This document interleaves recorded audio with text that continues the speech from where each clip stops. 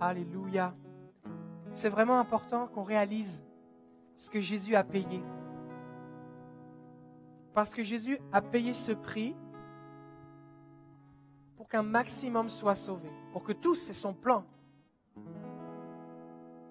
Et j'aimerais qu'on réalise ce matin que Jésus collabore avec nous, dans le sens que il a beau avoir tout payé sur la croix,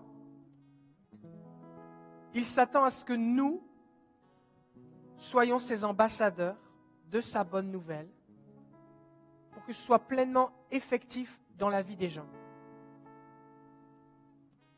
Et donc, il est possible que Jésus soit privé de la récompense de ses souffrances si nous nous contentons d'avoir reçu l'Évangile pour nous-mêmes et que nous ne le partageons pas autour de nous. Jésus a pu avoir vaincu les puissances des ténèbres, porté nos maladies, mais si nous ne guérissons pas les malades, alors il n'obtient pas la récompense de ses souffrances. Et c'est important qu'on réalise, c'est une des raisons pour lesquelles eh bien, nous devons, c'est notre mandat, nous devons, c'est notre mission, propager le royaume de Dieu avec son amour et sa puissance. C'est pour que Jésus reçoive la récompense de ses souffrances. Et c'est important qu'on réalise que Jésus n'est pas vécu tout ça pour rien. Jésus veut nous utiliser. Est-ce que vous réalisez le risque que Dieu prend de compter sur nous pour que ses enfants soient sauvés? Dieu est un Dieu qui prend des risques.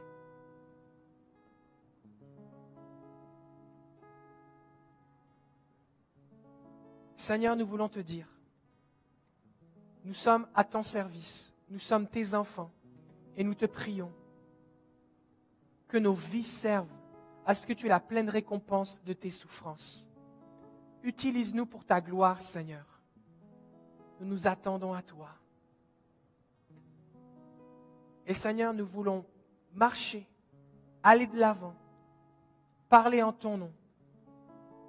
Et nous voulons nous souvenir que tu as déjà souffert pour ces choses, alors que tu puisses être glorifié au travers de nos vies, au nom de Jésus. Amen. Amen. Merci à l'équipe de louange. Est-ce qu'on est béni Est-ce qu'on sent la présence de Dieu? Alléluia. Pendant, euh, pendant la louange, eh bien, on veut c'est marrant parce qu'aujourd'hui, il fait, je pense, à peu près moins 15 à Québec. On a des gens qui nous suivent en Abitibi, on vous dit bonjour. On a des gens qui nous suivent actuellement à Paris, fait à peu près zéro. Puis on a des gens qui nous suivent dans le sud de la France, où il doit faire peut-être 15 ou 20 degrés, j'en sais rien. Et euh, fait y a toutes les températures, mais peu importe où on est, peu importe les circonstances extérieures de nos vies, on peut connecter avec le Saint-Esprit là où, là où nous sommes. Et euh, tout à l'heure, pendant, la louange, eh bien, euh, je crois que le Seigneur me montrait qu'il veut agir. Si vous avez un problème au niveau du cou, ça part de la base du cou euh, jusque dans, jusque dans l'épaule. C'est vraiment cette partie-là. Je sais pas, c'est les trapèzes, je pense. Hein les trapèzes. Je crois que le Seigneur vraiment veut agir dans votre corps. Je ne sais pas si c'est quelqu'un qui est ici ou si c'est quelqu'un qui est en ligne. Plusieurs personnes? Ok. Fait qu'on va prier maintenant. On va prier dans ce sens. Fait que si vous nous suivez en ligne et que ça vous concerne, eh bien, euh, on va prier aussi. Mettez votre main euh, sur votre épaule. Est-ce que ce serait possible que ceux qui ont un problème à ce niveau-là, eh bien, on puisse, ceux qui les entourent, approchez-vous d'eux. Et puis, euh, on, va, on va aller prier maintenant simplement. Vraiment, le but de l'école de ministère surnaturel, c'est que vous soyez équipés. D'accord? C'est pas que vous regardiez mon ministère, mon but, c'est de vous équiper. Et donc, c'est pour ça qu'on veut aussi faire des exercices pratiques. Et euh, donc, on a plusieurs personnes. Alors, voici ce qu'on va faire. On va se concentrer sur le Seigneur. Et euh, pouvez imposer mettre votre main sur le, cou de la, personne, simplement. Euh, et puis, euh, on veut simplement se concentrer sur le Seigneur. Et il y a une chose qui est vraiment importante quand on prie pour les malades, c'est qu'en général, les gens qui commencent à prier pour les malades, on est tous stressés. Et on se retrouve comme un tuyau d'arrosage dans lequel il y a des nœuds et il n'y a rien qui coule. Donc il faut se détendre et il faut se concentrer sur le Seigneur et réaliser que Jésus a tout payé. Et moi, je suis juste un agent distributeur. Je suis juste un, un ambassadeur. Je fais juste communiquer ce qui est disponible déjà au ciel. Et moi, je suis le point de contact. Je suis le point de contact entre le problème et le royaume de Dieu qui s'approche. D'accord? Alors, on va simplement se concentrer sur le Seigneur et on va prier ensemble. Seigneur, merci parce que tu as tout payé à la croix. Et merci Seigneur parce que tu vis en moi. Et merci pour la puissance de la guérison qui est disponible. Alors je relâche maintenant au nom de Jésus ta guérison dans le corps de cette personne. Je le bénis au nom de Jésus et je commande à cette douleur de partir maintenant. Parce que Jésus a déjà payé pour cette douleur. Au nom de Jésus, Amen. Amen. Ok. Maintenant, vérifiez ce qui se passe. Peut-être que vous avez ressenti quelque chose. Ça se peut que vous ressentiez du mieux. Euh, ça se peut que vous n'ayez plus rien. Ça se peut que vous ressentiez une chaleur, un tremblement, une fraîcheur. C'est certaines des façons dont le Saint-Esprit agit. Ça se peut que vous ressentiez rien, mais c'est important de vérifier parce que des fois, les gens ressentent rien de particulier, mais Dieu agit quand même. Fait que, moi, je vais faire le sondage avec les gens qui sont dans la salle maintenant. Est-ce qu'il y a des gens qui expérimentent une amélioration? Faites-moi signe. Oui. Est-ce qu'il y a des gens qui expérimentent euh, C'est pareil, faites-moi signe. Ces gens, c'est pareil? C'est pareil? Ok. Est-ce qu'il y a des gens, vous expérimentez C'est pareil, mais vous ressentez quelque chose? Comme vous ressentez peut-être une chaleur, d'électricité, quelque chose? Vous ressentez rien du tout? Ok. On va prier une deuxième fois. Et c'est important qu'on soit sensible à, la façon dont Dieu veut qu'on prie. Pourquoi je dis ça? Parce que Dieu agit de plein de façons. Et aussi, il y, a plein de, sources à la douleur. Et des fois, ce qui se passe, c'est qu'on se limite à juste dire commander, et du coup, on se limite. Euh, la semaine dernière, j'étais à Sherbrooke, et puis dans notre campus, et les vidéos sont en ligne, vous pouvez les, les revisionner. Et euh, le Seigneur m'a montré qu'il y avait quelqu'un qui avait un problème, comme, un, comme une pesanteur au niveau de son cou, de ses épaules. Et la personne, depuis le mois d'août, eh souffrait terriblement au niveau de son, cou, et ça occasionnait des migraines, difficultés à dormir, et c'était vraiment extrêmement douloureux. Et qu'on a prié, et puis euh, ce qui s'est passé, c'est que la douleur a diminué un petit peu, il sentait la présence de Dieu, mais c'était encore, euh, encore très, très présent. Et qu'on a prié encore, on a prié encore, je me suis approché de lui, les gens étaient autour, on a commencé à prier. Et ce que je ressentais, c'était ce verset en rapport avec les fardeaux. Jésus a dit, déchargez-vous sur lui de tous vos fardeaux. Euh, si quelqu'un est venez à moi, vous tout ce qui est fatigué, chargé, je vous donnerai du repos.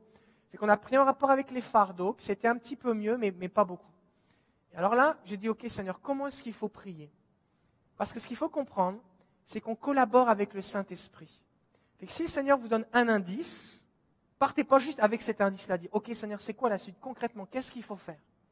Alors on a prié. Et là, ce que je ressentais, c'est que littéralement, il y avait un fardeau qui était sur lui, comme, l'ennemi avait posé un fardeau sur lui. Alors j'ai prié pour que le fardeau soit enlevé. Et pendant quelques moments, eh bien, cette pression a diminué, mais c'est comme après, elle est revenue. Elle est revenue.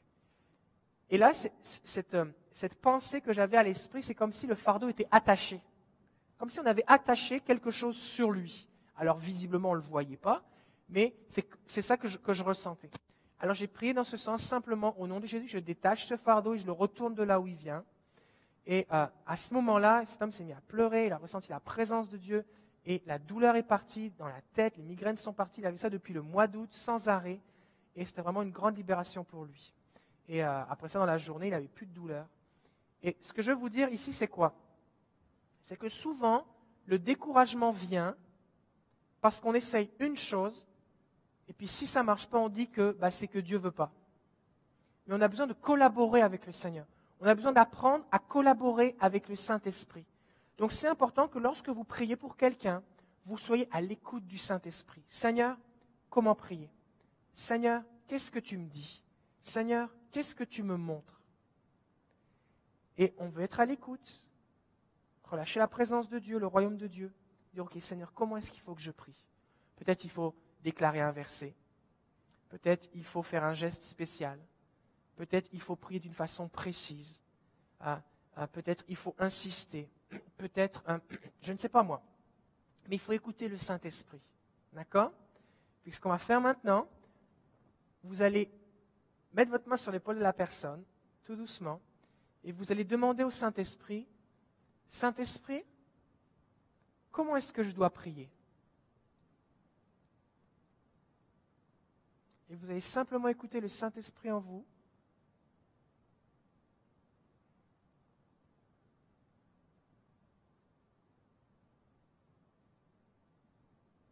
Merci Saint-Esprit parce que tu es en train de parler. Merci pour ceux qui sont en train d'entendre ta voix en ligne maintenant.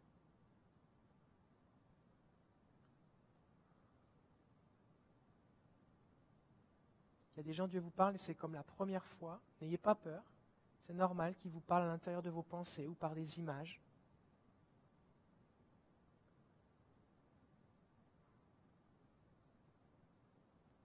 Maintenant, agissez ou priez d'après ce que vous avez reçu.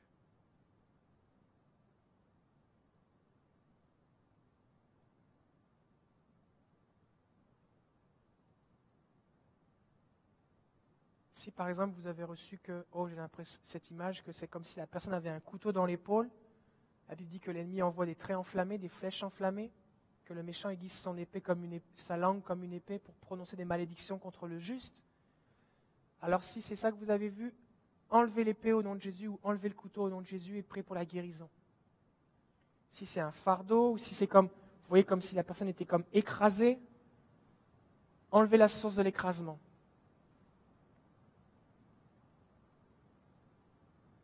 Au nom de Jésus, simplement.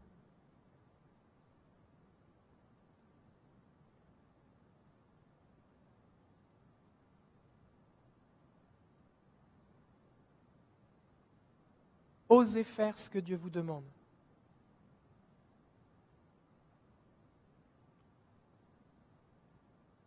Prenez un risque. Osez faire ce que Dieu vous demande. Déclarez-le.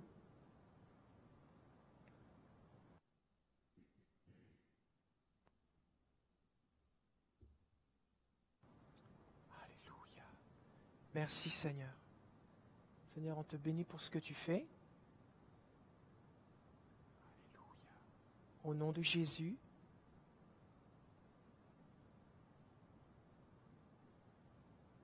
Amen. Amen. Ok, maintenant vérifiez. Testez, commencez. Si vous voyez de l'amélioration, partagez avec ceux qui ont prié pour vous. Ça se peut que vous ayez reçu quelque chose de la part du Seigneur alors qu'on est en train de prier pour vous. Des fois, ça arrive. Ça m'arrive, des fois, je prie pour quelqu'un, et moi, je reçois rien, mais la personne reçoit quelque chose. Donc, je prie d'après ce qu'elle a reçu.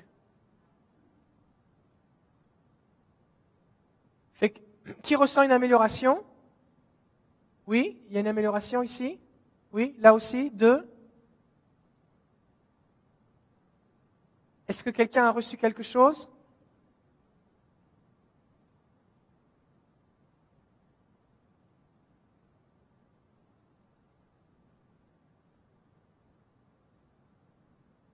Ok.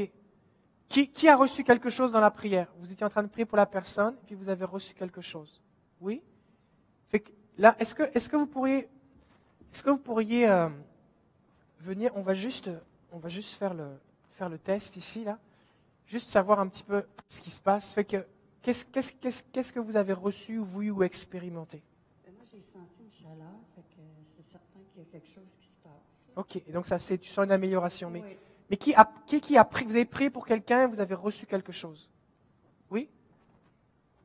Moi, j'ai vu euh, l'image du le jaune et, et d'un euh, et au moment où j'ai prié pour ça, j'ai senti la présence du Saint-Esprit. OK. Et toi aussi, Anne? Puis, alors Moi, j'ai senti un, un, feu descendre en, en direction de la douleur une amélioration, disons, 100% de douleur, il en reste 20, disons. OK. OK. Donc, maintenant, quand on reçoit quelque chose comme ça, ce qui est important de réaliser, je vais retourner là-bas pour que être à la caméra. Ce qui est important de réaliser, c'est que lorsqu'on prie de cette façon-là et qu'on reçoit quelque chose, on peut facilement se poser des questions comme est-ce que c'est biblique? Bon, le fait de voir un joug, il y a un verset dans la Bible qui dit l'onction brise le joug. D'accord? Euh, Et que euh, on ne doit pas se mettre sous un joug. La notion d'avoir un joug, un joug, hein, donc c'est cette pièce de bois qui était mise sur les bœufs pour tirer un attelage, et c'est attaché, c'est pas juste déposé, hein, c'est attaché. Eh bien, c'est une image qui est à plusieurs reprises dans la Bible. C'est une image aussi qui est utilisée pour dire que le Saint-Esprit veut libérer les gens du joug. Donc, si le Seigneur nous donne quelque chose qui, on peut trouver une base biblique, ça nous donne de l'assurance pour prier dans ce sens-là. D'accord? Ensuite de ça, ce qui est important, c'est que euh, Claire Hélène, ce que tu as dit, c'est que c'est Claire Hélène, hein, c'est ça? Tu as dit que tu as eu cette image et tu as senti la présence de Dieu. Ça, c'est ce qu'on appelle, c'est une confirmation. des fois, ce qui va se passer, c'est que vous allez avoir une image ou une impression ou une pensée. Et là, c'est comme vous venez de la recevoir. OK. Mais le Seigneur, lui, il sait que vous voulez que ce soit biblique. Il sait que vous voulez, eh bien, marcher par la foi, mais que vous avez besoin de confirmation. C'est ce qu'il vous demande de faire. Donc, c'est correct, c'est OK de demander des confirmations au Seigneur. Seigneur, Seigneur, est-ce que c'est bien de toi cette image que j'ai? Seigneur, euh, est-ce que tu peux me confirmer? Et une des façons dont Dieu peut nous confirmer quelque chose, ça peut être en nous faisant penser à un verset, en nous rappelant un témoignage qu'on a déjà entendu, ou alors en se manifestant à nous physiquement ou émotionnellement. Émotionnellement, ça peut être par une grande joie, une grande paix, ressentir la chaleur de son amour, mais physiquement, ça peut être aussi par un frisson, une chaleur, ou la, façon dont le Seigneur se manifeste à vous personnellement. Et le fait d'avoir eu reçu quelque chose, ça c'est comme l'aspect réception, comme l'aspect on va dire prophétique, comme vous recevez quelque chose du Seigneur. Ensuite de ça, on ajoute l'aspect est-ce que c'est biblique? D'accord? Et ensuite de ça, on ajoute l'aspect confirmation. Et quand on a tout ça, la seule chose qui nous reste à faire, c'est de faire un pas de foi. Parce que si vous faites juste attendre avec cette information, ben, il n'y a rien qui va se passer. Vous avez besoin de faire quelque chose. Et c'est là qu'on commence, on déclare, on déclare la chose, on prie, on fait le geste, ou euh, on déclare le, verset, euh, on, prie d'après ce que le Seigneur nous montre, et ensuite de ça, on vérifie ce qui se passe. Et ce, que vous allez constater, c'est qu'au fur et à mesure que vous développez cette, méthodologie, en fait, qui est sécuritaire, qui vous aide à, faire des pas de foi, mais à, vérifier les choses, à, avoir des confirmations, eh bien, de plus en plus, votre foi va se développer. Pourquoi? Parce que vous, aurez, vous allez apprendre des nouvelles choses. Et le Seigneur va vous confier des choses plus grandes. Mais si, si vous n'êtes pas prêt à essayer, si vous n'êtes pas prêt à, à, tenter le coup, à prendre un risque, ben, ça va rester comme c'est. Il n'y a rien qui va se passer. Donc c'est vraiment important. C'est vraiment important. Fait que, oui Juste avant de prier, oui.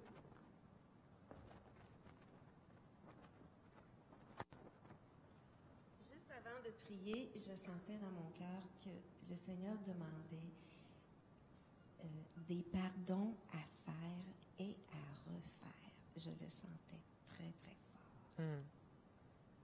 Oui. Et moi, euh, depuis une semaine ou deux, je demande au Seigneur, il y a une situation qui concerne quatre personnes j'ai eu de la difficulté au niveau du pardon et j'ai été, avant qu'elle voit le jour, j'ai été dans un processus tout à l'heure de, pardon envers ces personnes-là, puis de demander pardon au Seigneur. Et là, l'idée du joug et de la prière, puis hmm. c'est là qu'est arrivée la chaleur et la libération. Donc, euh, le, joug, ça peut être justement cette, absence de pardon, cette douleur que j'ai eue. Et donc, est-ce que tu lui, avais, tu lui avais partagé cette histoire de, rapport avec le pardon Donc là, c'est une confirmation. Super que j'ai dans le cœur. OK. Est-ce que tu as des pardons? Est-ce que c'est est -ce c'est biblique? Est-ce que c'est biblique? Ça, c'est vraiment important. Euh, fait que là, comment c'est ton coup? Comment c'est ton coup? C'est bien? Ben, je te dirais qu'il restait, il restait 10. Là, j'ai l'impression qu'il reste 5 euh, ou 2 OK. Alléluia. Gloire à Jésus. Est-ce qu'il y en a, est-ce qu'il y en a d'autres? Je veux, OK. Là, ce que je vais faire, je vais expliquer cette affaire du pardon. Et ensuite, je vous me faites la main si je vous oublie, parce que des fois, ça m'arrive, comme j'oublie, je passe à autre chose, d'accord? Je veux qu'on continue. C'est bon?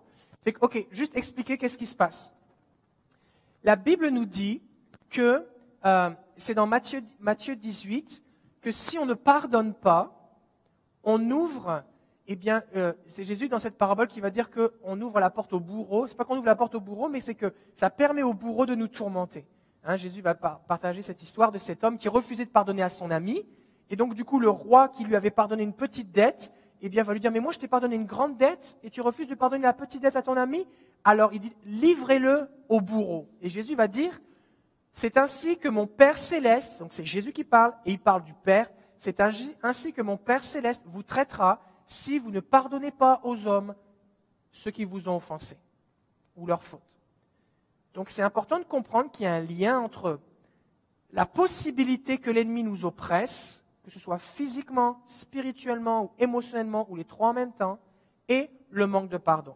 Maintenant, souvent les gens vont entendre ça et vont conclure dans leur tête que alors, si tu as mal, c'est que forcément, tu as des pardons à faire. Ça, ça s'appelle utiliser une méthode automatique.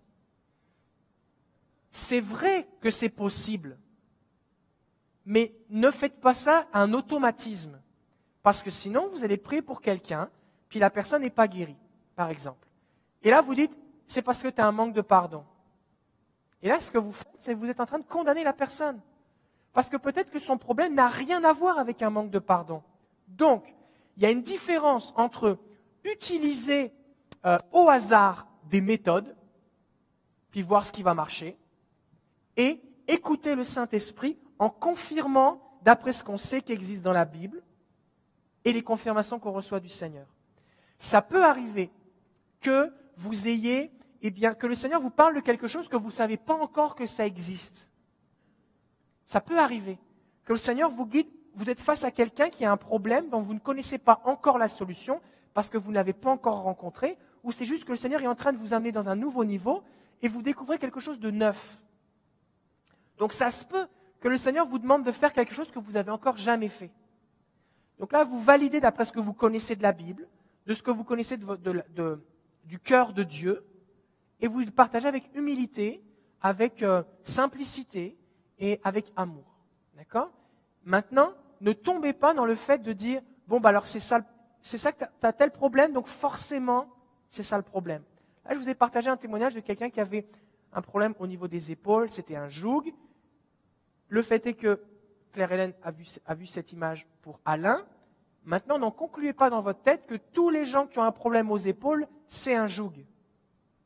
Maintenant, si vous priez pour quelqu'un qui a mal aux épaules et que le Seigneur vous dit c'est un joug, ou que vous avez juste cette vague pensée, ça se peut. Donc le fait d'avoir entendu les témoignages, d'avoir eu ce que je suis en train de vous expliquer maintenant, peut vous donner plus d'assurance pour le partager.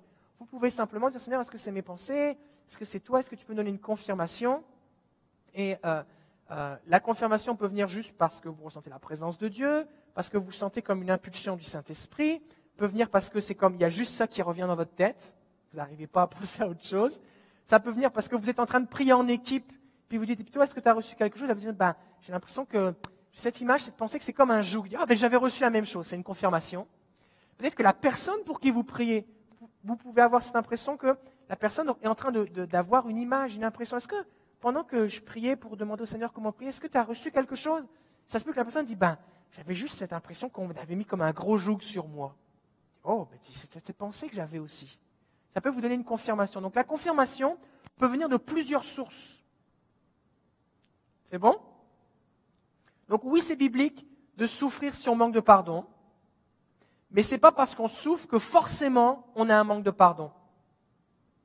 Oui, c'est possible qu'un péché entraîne de la souffrance, mais ce n'est pas parce que je souffre que forcément c'est relié à un péché. Oui, c'est possible qu'un démon soit relié à la souffrance, mais ce n'est pas parce qu'il y a de la douleur que forcément c'est un démon.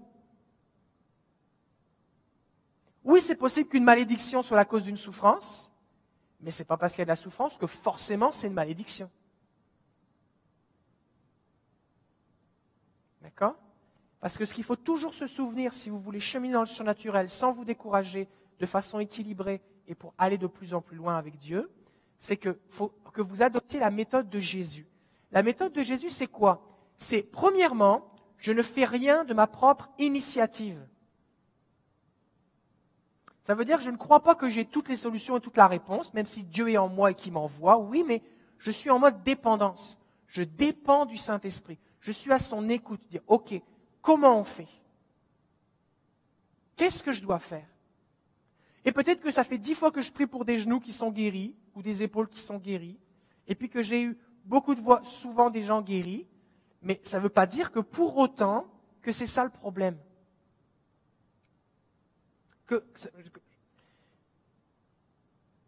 Peut-être que ça fait trois ou quatre fois que le Seigneur me dit de faire telle chose pour qu'un genou soit guéri, puis je le vois guéri. Puis là, je suis face à une cinquième personne, et je peux en conclure que je dois adopter la même méthode. Mais non, ce n'est pas à moi de choisir la méthode. Je dois être à l'écoute du Saint-Esprit. Si je reçois rien, je peux essayer des trucs. Mais commencez d'abord par dire Seigneur, comment prier? D'accord? Parce que vous allez voir plus de fruits. Parce que sinon, vous allez utiliser une méthode au hasard. C'est comme si, par exemple, je suis face à un problème de bricolage. Et puis j'ai quelque chose qui ressemble à une vis ou à un clou qui est devant moi et je dois le faire rentrer dans une planche de bois ou dans un mur. Mais je ne sais pas trop si c'est un vis, une vis ou un clou, je ne sais pas trop, mais ça ressemble. Et là, au hasard, je prends dans, un, dans une caisse à outils dans laquelle il y a des marteaux et des tournevis de toute, toute forme et toute taille. J'en prends un au hasard et j'essaye. Et là, rien ne se passe. Alors je dis, au nom de Jésus. Et là, je commence à m'exciter, à crier, à transpirer. Et après ça, je dis, Seigneur, tu sais qu'il y a un problème. Est-ce que tu pourrais m'aider? Et là, le Seigneur m'a dit, mais si tu me demandais ce que c'est, et quel outil utiliser, ça irait mieux. Et beaucoup de découragement dans la guérison, dans les paroles de connaissance, dans la prophétie, dans l'interprétation des rêves, viennent du fait qu'on y va tout seul. On dit Saint-Esprit, tu es en moi, viens-t'en, on, on y va, c'est parti, tu fais ce que je te dis. Non, c'est je suis à l'écoute, je suis dépendant de lui et je dois faire ce qu'il me montre, ce qu'il me donc Jésus dit, je ne fais rien de ma propre autorité et je ne fais que ce que le Père me montre et que je ne répète que les paroles que le Père me dit. D'où l'importance d'écouter le Seigneur. C'est bon? Ok. Fait que là, Claire, est-ce que ça va mieux ton épaule? Il n'y a plus rien? Ok. Alain, commencez.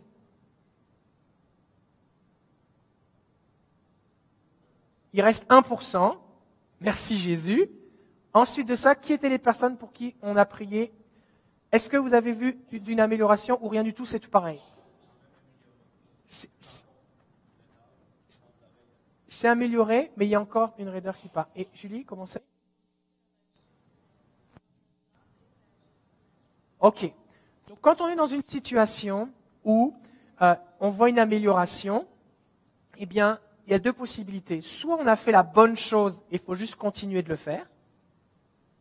Par exemple, si j'enfonce une vis, je tourne, oh, c'est la bonne forme, c'est la bonne taille, la, vis, le tournevis rentre bien dans la vis, je tourne, puis je vois, oh, ça y est, c'est en train de rentrer. Qu'est-ce que je fais? Je continue jusqu'à ce que la vis soit complètement rentrée. Soit c'est possible que j'ai commencé à faire une chose et j'ai besoin maintenant de faire autre chose parce qu'il y a avoir comme une action qui est euh, euh, complémentaire, on va dire. D'accord? Fait va encore prier pour vous maintenant on va demander au Seigneur, on va, prier encore, et pour que, que ce soit fait complètement, parce que la Bible dit que ce qu'il commence, il l'achève. Et c'est important, la raison pour laquelle c'est important de demander ce qui se passe, c'est que s'il se passe quelque chose, ça m'encourage. À la fois celui qui prie, mais aussi à la fois celui qui reçoit la prière. Et donc si je ne demande pas ce qui se passe, des fois ça arrive que la personne ressente la présence de Dieu, mais ne réalise pas que c'est mieux au niveau de, la mobilité, par exemple. Mais des fois, ce qui se passe, c'est que euh, la personne, eh bien, euh, ne, ressent rien. Et donc, elle n'est pas consciente que Dieu est en train d'agir. Et donc, le fait de lui faire tester va l'amener à, à, prendre conscience que, oh, c'est mieux. Une mise en garde que je voudrais faire à ce niveau. Si quelqu'un souffre et a de la douleur. Des fois, il y a des gens qui ont de la douleur constante. Des fois, c'est un problème de mobilité, mais des fois, c'est une douleur qui est constante. C'est important que vous vous souveniez que si vous lui faites tester, ça se peut que ça lui fasse plus mal. Par exemple, quelqu'un qui a très mal à l'épaule, puis qu'il y a une position comme ça pour protéger son épaule, et puis qu'elle se dit, mais moi, eh bien, quand, euh, quand si je bouge, ça va me faire plus mal, puis que le niveau de douleur est toujours là, ne lui faites pas essayer pour rien. Parce que sinon, vous allez lui faire mal. Donc l'idée, c'est, vous pouvez dire quelque chose comme, mon but, c'est pas que tu aies mal ou de te faire plus mal, c'est juste pour évaluer. Donc si la personne a mal que quand elle fait certains mouvements, ou que la douleur augmente seulement en faisant certaines choses, eh bien, et que vous priez mais qu'elle a toujours aussi mal la douleur de base, commencez pas à lui faire faire des choses. Juste priez encore. Respectez la personne, d'accord? Et ne, ne demandez pas à la personne de dire quelque chose comme Ok, mais là, c'est parce que si tu testes pas, c'est que tu n'as pas assez la foi. Parce que des fois, dans notre, dans notre désir de voir quelque chose se passer, on oublie que la personne elle est en train de souffrir. Donc mettez-vous à la place de la personne. Donc le principe de je teste pour vérifier ce qui se passe, il est bon, mais est-ce que Dieu peut agir si je teste pas? Oui. D'accord? Donc ne laissez pas le fait que la personne dit bah là je veux plus trop bouger parce que ça me fait vraiment mal. Faites juste prier. De toute façon, si la douleur diminue, elle va s'en rendre compte. D'accord C'est bon Ok. On va prier. C'est parti. Alors on, va prier pour Jean-Roch. On va entourer Anne aussi. Fait que ce qu'on va faire, on va faire trois groupes. On va faire un groupe autour de Jean-Roch, un tour autour de Julie et un, tour autour, un groupe autour de Anne. On va simplement prier et demander au Saint-Esprit comment prier. On recommence. Si vous êtes à la maison et que vous, euh, vous expérimentez aussi ces choses, demandez aussi au Saint-Esprit. Peut-être que vous êtes en train de prier pour votre conjoint, peut-être que vous êtes en train de prier pour vous-même. Je prie que le Seigneur vous ouvre les yeux et qu'il vous révèle, qu'il vous révèle comment prier.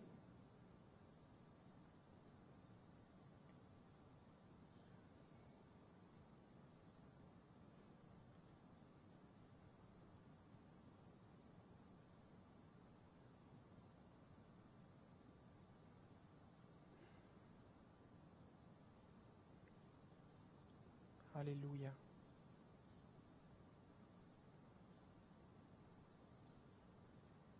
Merci Seigneur pour ce que tu fais. Vous pouvez juste bénir ce que Dieu est en train de faire aussi, si vous ne recevez rien. Bénissez simplement ce que Dieu est en train de faire. C'est un peu comme si vous souffliez sur des braises, simplement pour qu'elles soient encore plus chaudes. Seigneur, on bénit ce que tu es en train de faire sur nos frères et sœurs au nom de Jésus.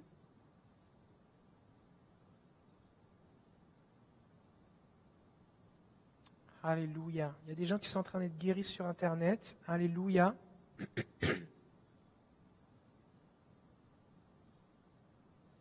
Hmm.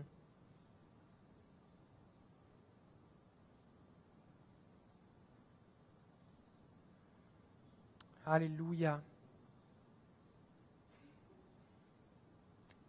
Alléluia. On bénit ceux qui sont à Strasbourg. Plusieurs personnes sont en train d'être guéries en direct. Et si vous ne regardez pas en direct, le Saint-Esprit n'est pas limité par le temps. Fait que vous pouvez vous aussi recevoir la guérison maintenant. Merci Saint-Esprit pour ce que tu es en train de faire. Alléluia. Je bénis cette chaleur. Je bénis cette chaleur dans le dos de Valérie, maintenant au nom de Jésus. Qu'elle s'intensifie. Merci Saint-Esprit parce que tu es en train d'agir, de toucher. Que les vertèbres se remettent en place. Que les dos soient guéris au nom de Jésus. Merci pour ce que tu es en train de faire, Saint-Esprit.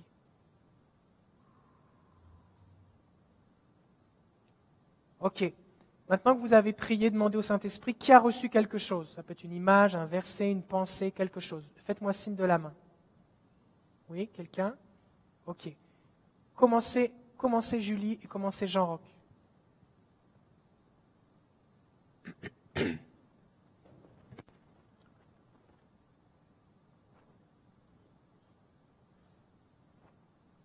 Ok, on va être mieux comme ça. Commencez ici? Ça a baissé beaucoup? Ça a baissé beaucoup? Est-ce que pendant qu'on priait, est-ce que tu ressentais quelque chose de particulier? Je chantais le, le- le verset qui me revenait toujours, c'est euh, comme une biche soupire après des courants d'eau.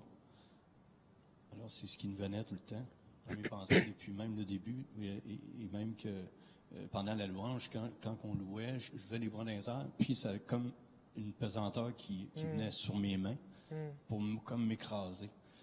Fait que je ne sais pas si ça a rapport Ok. avec ça, mais euh, sauf que c'est ça. Fait que là, là dans ce, dans ce cas-là, comme une biche soupire après des courants d'eau, l'idée c'est quoi? C'est que la biche qui soupire après des courants d'eau, la suite du verset c'est Ainsi mon âme soupire après toi. D'accord? Et la biche qui, soupire après des courants d'eau, le but c'est quoi? C'est qu'elle boive, hein c'est parce qu'elle a soif. Hein c'est pour ça. Hein Et donc, euh, l'idée c'est que dans ce cas-là, on peut faire quelque chose de simple, c'est de dire Ok, Seigneur, si ce que tu me diriges c'est le fait qu'il faut que je boive à ta rivière, ben, je vais boire tes eaux vives. Jésus va dire à la femme samaritaine, celui qui boit de l'eau que je lui donnerai n'aura plus jamais soif. Elle va lui dire, mais avec quelle cruche est-ce que tu vas puiser Le puits est profond? Il dit, mais c'est, non, mais c'est pas de l'eau physique, c'est de l'eau spirituelle. Donc cette eau spirituelle qu'il proposait à la samaritaine, elle est encore disponible aujourd'hui. Elle est disponible pour toi.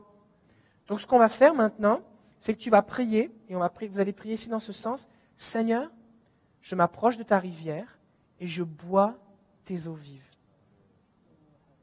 Tu vas prier dans ce sens. Ok, on va prier, on va prier ensemble. Seigneur, on bénit notre frère maintenant au nom de Jésus. Merci pour tes eaux vives. Seigneur, on vient boire à ta rivière maintenant. Ta parole dit que toutes nos sources sont en toi. Alors que Jean Roch maintenant soit abreuvé maintenant de ta rivière, qu'il soit rafraîchi, désaltéré. Nous le bénissons en ton nom. Merci Seigneur. Alléluia. Merci Jésus. Reçois, bois simplement sa rivière. La Bible dit que des fleuves d'eau vive couleront de nous et jailliront. Fait que ceux qui l'entourent maintenant, priez pour que ces eaux vives cette eau vive qui est en vous coule sur lui maintenant. Que concentrez-vous simplement à laisser, à relâcher l'eau vive du Saint-Esprit sur lui, comme l'a dit Jésus. Ok. Vous vous priez dans ce sens-là. Qu'est-ce qui se passe ici? Ben, moi, j'ai fait, j'ai fait une chute en ski euh, hier. Fait que je me suis. euh, mon cou a craqué. Puis là, ben, j'ai comme vraiment mal. J'avais comme mal au cou. Mais ça a diminué. Euh, j'ai juste de la douleur là, en dessous de l'oreille, mais ça partait de l'épaule. Ok. euh, ça Ok. a diminué. Puis. Ruth- Ah, je- c'est sa sœur. Grace, euh, elle a prié pour moi. Puis pendant que, qu'elle priait pour moi, elle a vu comme une pommade, puis un, c'est comme si j'avais besoin d'un massage. Là.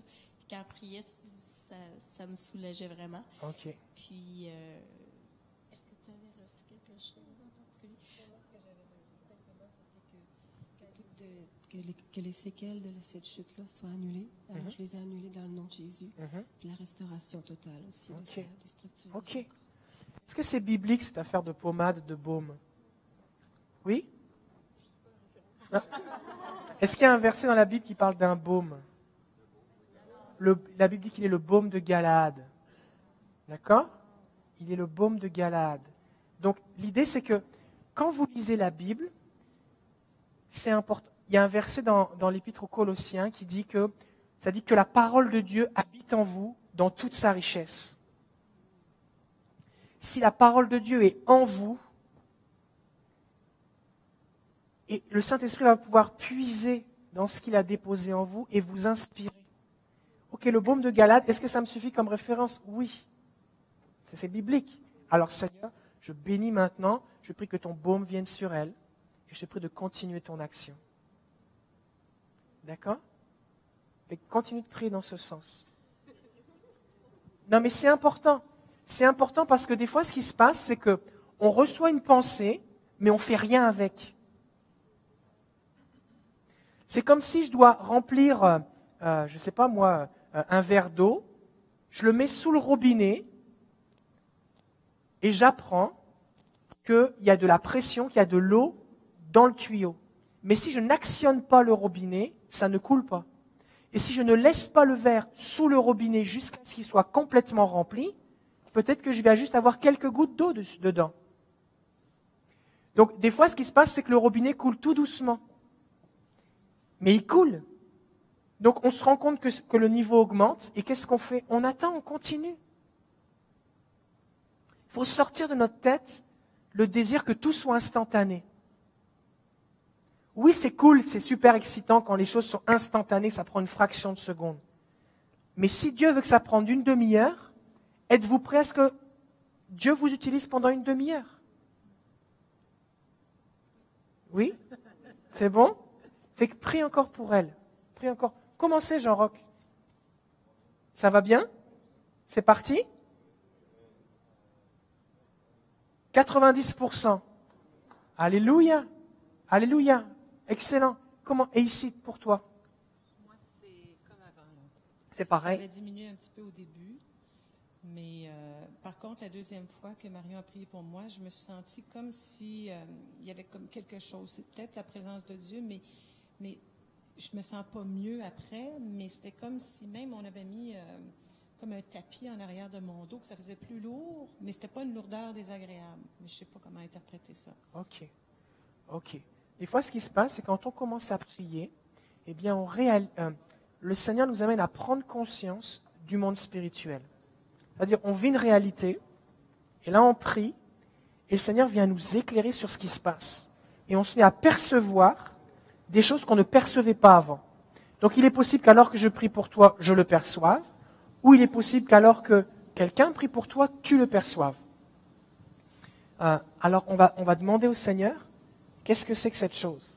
Parce que cette lourdeur, parce que oui, il est possible que la gloire de Dieu se manifeste par une pesanteur, c'est vrai.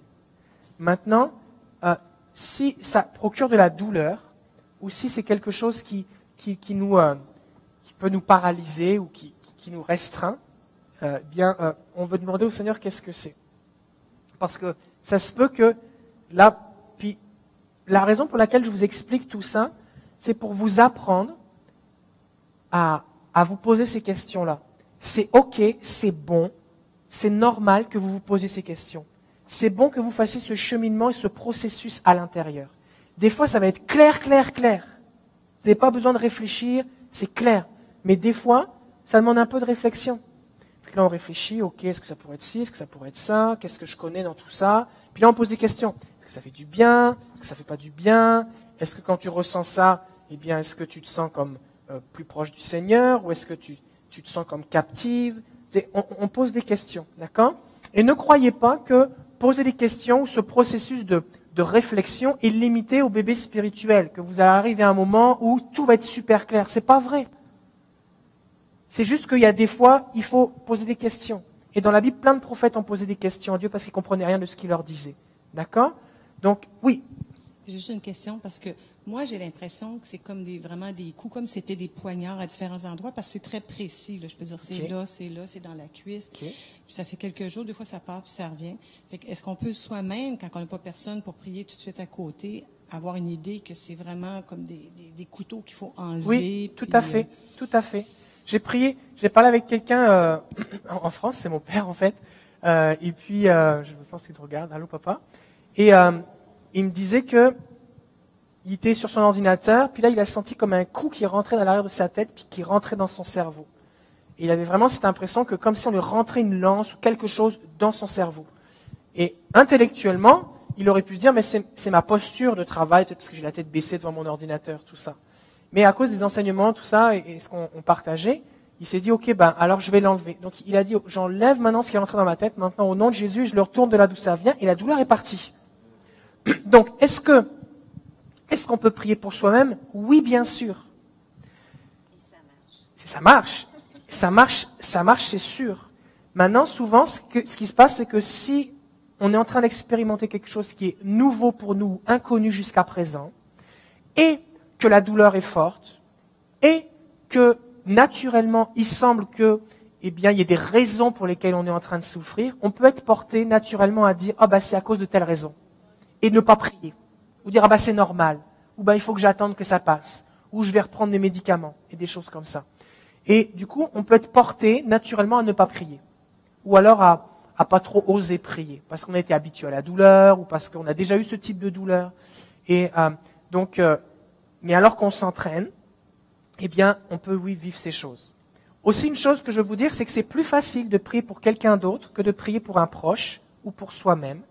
Parce que émotionnellement, il faut se détacher, se concentrer sur la présence de Dieu. Et c'est plus difficile d'écouter le Seigneur si je suis anxieux. C'est plus difficile. C'est pas impossible. C'est juste, c'est un petit peu plus difficile. Si par exemple je vois mon propre enfant qui est en train de souffrir, si je vois ma femme qui est en train de souffrir, alors plus facilement je peux être porté à paniquer, à, à essayer de trouver toutes sortes d'aides, plutôt que de me concentrer et d'écouter Jésus. D'accord? Que quelqu'un qui va être plus détaché émotionnellement va plus facilement pouvoir se concentrer. Maintenant, est-ce qu'on peut apprendre à se concentrer et à connecter au Saint-Esprit en toutes circonstances? Oui, c'est sûr. Donc l'idée, c'est que commencez par prier pour vous-même. Si vous vous en sortez pas, demandez de l'aide. C'est pas pas un manque de spiritualité, c'est pas un manque de maturité, c'est pas un manque de foi ou de je sais pas trop quoi. C'est juste que Dieu veut qu'on travaille dans son corps, d'accord? Et le corps de Christ, la vie de Christ est censée passer de l'un à l'autre et au travers des uns et des autres. Donc ne recherchez pas à atteindre un niveau spirituel où vous êtes autosuffisant. Ce niveau n'existe pas. Quand vous pensez que vous êtes autosuffisant, c'est qu'en fait vous êtes isolé du corps, rempli d'orgueil et, et, et, ignorant des choses de Dieu, et vous êtes une proie facile pour le diable. Mais tant que vous restez dépendant de dire, il y a des choses que je sais, que j'ai vécues, mais il y a des choses que d'autres peuvent recevoir, et peut-être que ça fait dix ans que je prie pour les malades et que j'ai vu des centaines de guérisons, mais peut-être cette personne, elle n'a jamais prié pour quelqu'un, Dieu peut l'utiliser pareil, c'est le même Saint-Esprit. Et j'ai besoin des autres.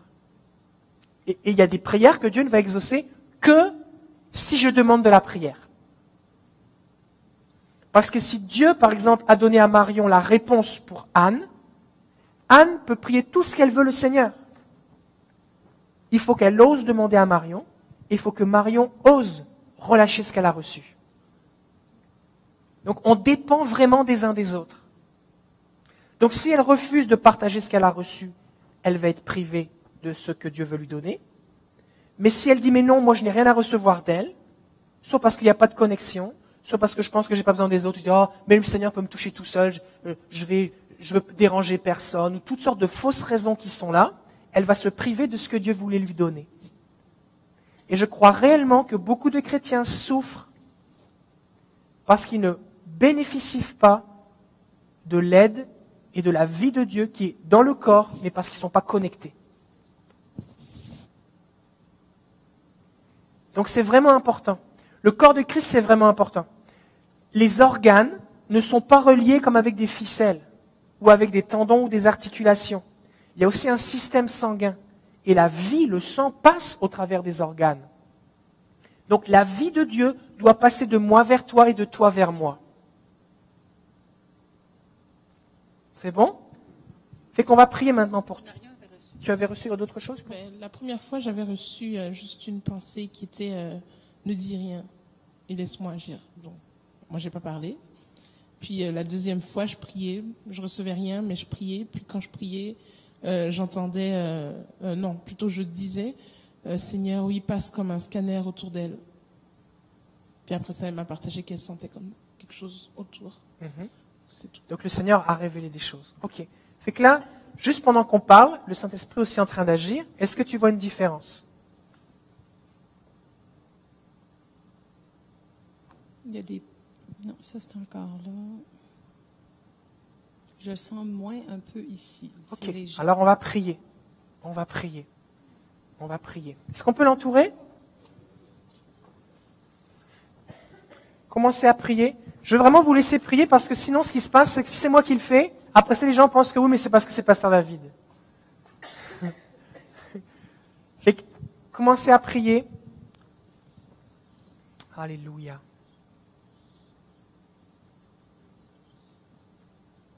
Fait l'idée, c'est que si vous voyez quelque chose ou que vous pensez à quelque chose qui n'a pas d'affaire là, comme par exemple un couteau ou quelque chose comme ça, simplement vous l'enlevez au nom de Jésus. Vous Vous dites, j'enlève ce couteau. S'il y en a plusieurs, vous les enlevez tous.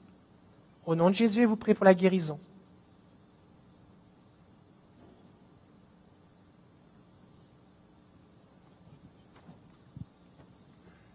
Si c'est une couverture qui est pesante, alors ce qu'on peut faire, c'est qu'on peut l'enlever. Et on peut annuler l'effet de lourdeur.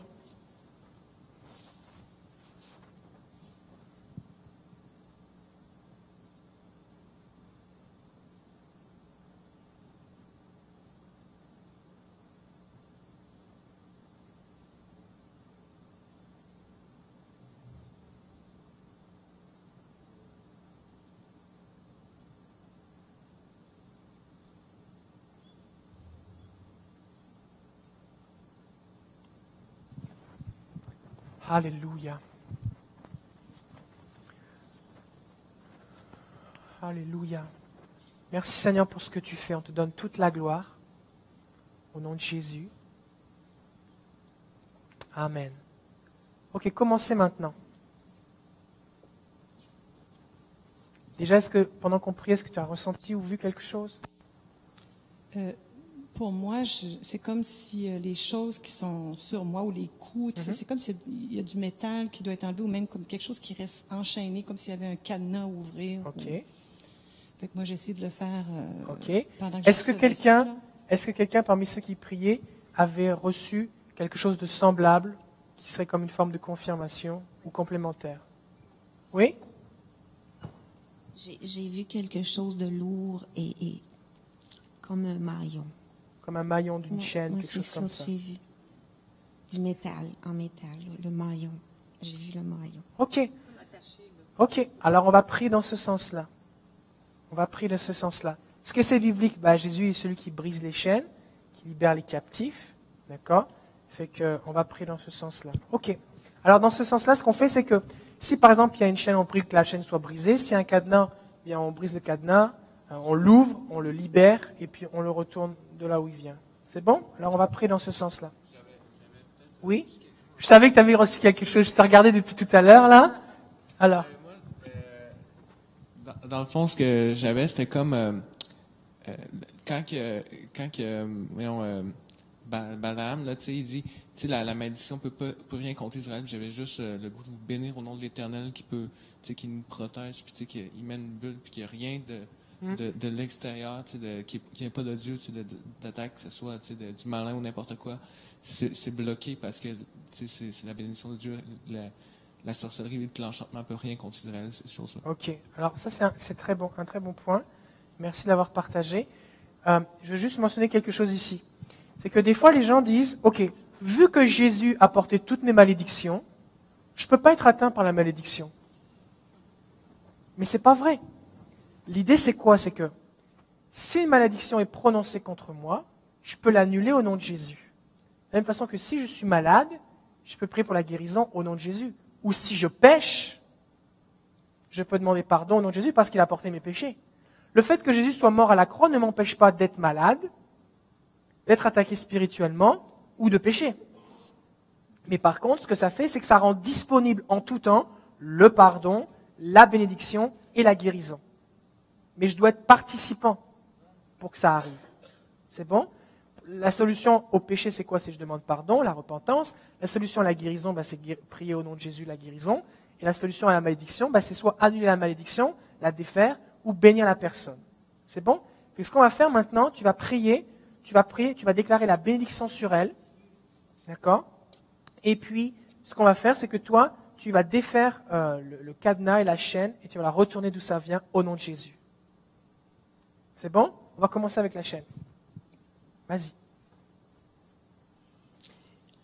Père, je te remercie pour ce que tu fais pour ma sœur et je prends autorité au nom de Jésus pour défaire cette chaîne, qu'elle soit brisée, car toi, Seigneur, tu as la puissance au nom de Jésus.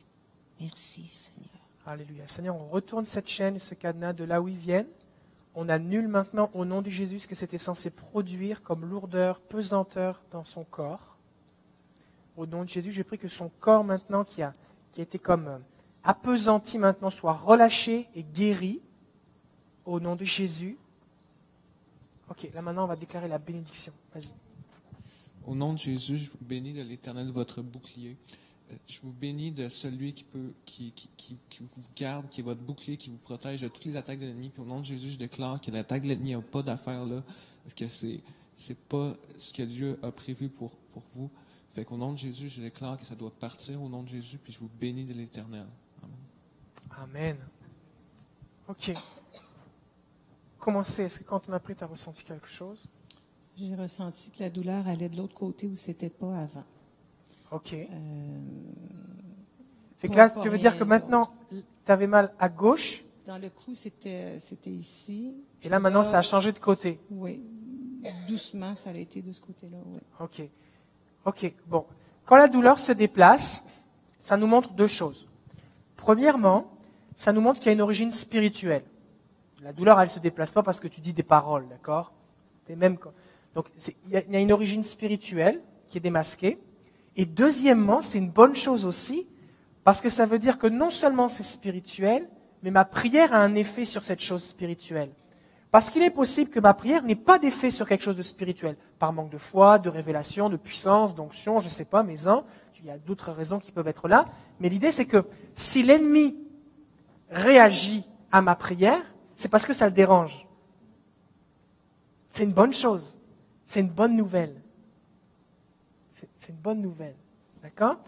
Qu'on va prier encore maintenant, et on va, on va tous ensemble, on va prier, et on va commander à cette, euh, chose de partir maintenant au nom de Jésus. Ça ne se déplace pas juste, mais que ça parte complètement.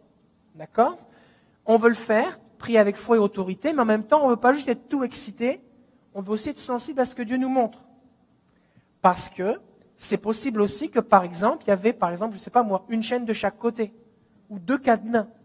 Et c'est possible que le Seigneur nous les révèle un à la fois, pour que notre foi se développe au fur et à mesure qu'on voit la guérison qui prend place. D'accord? Donc on reste en mode dépendance du, de A à Z, du début à la fin. C'est bon? Allons-y, prions.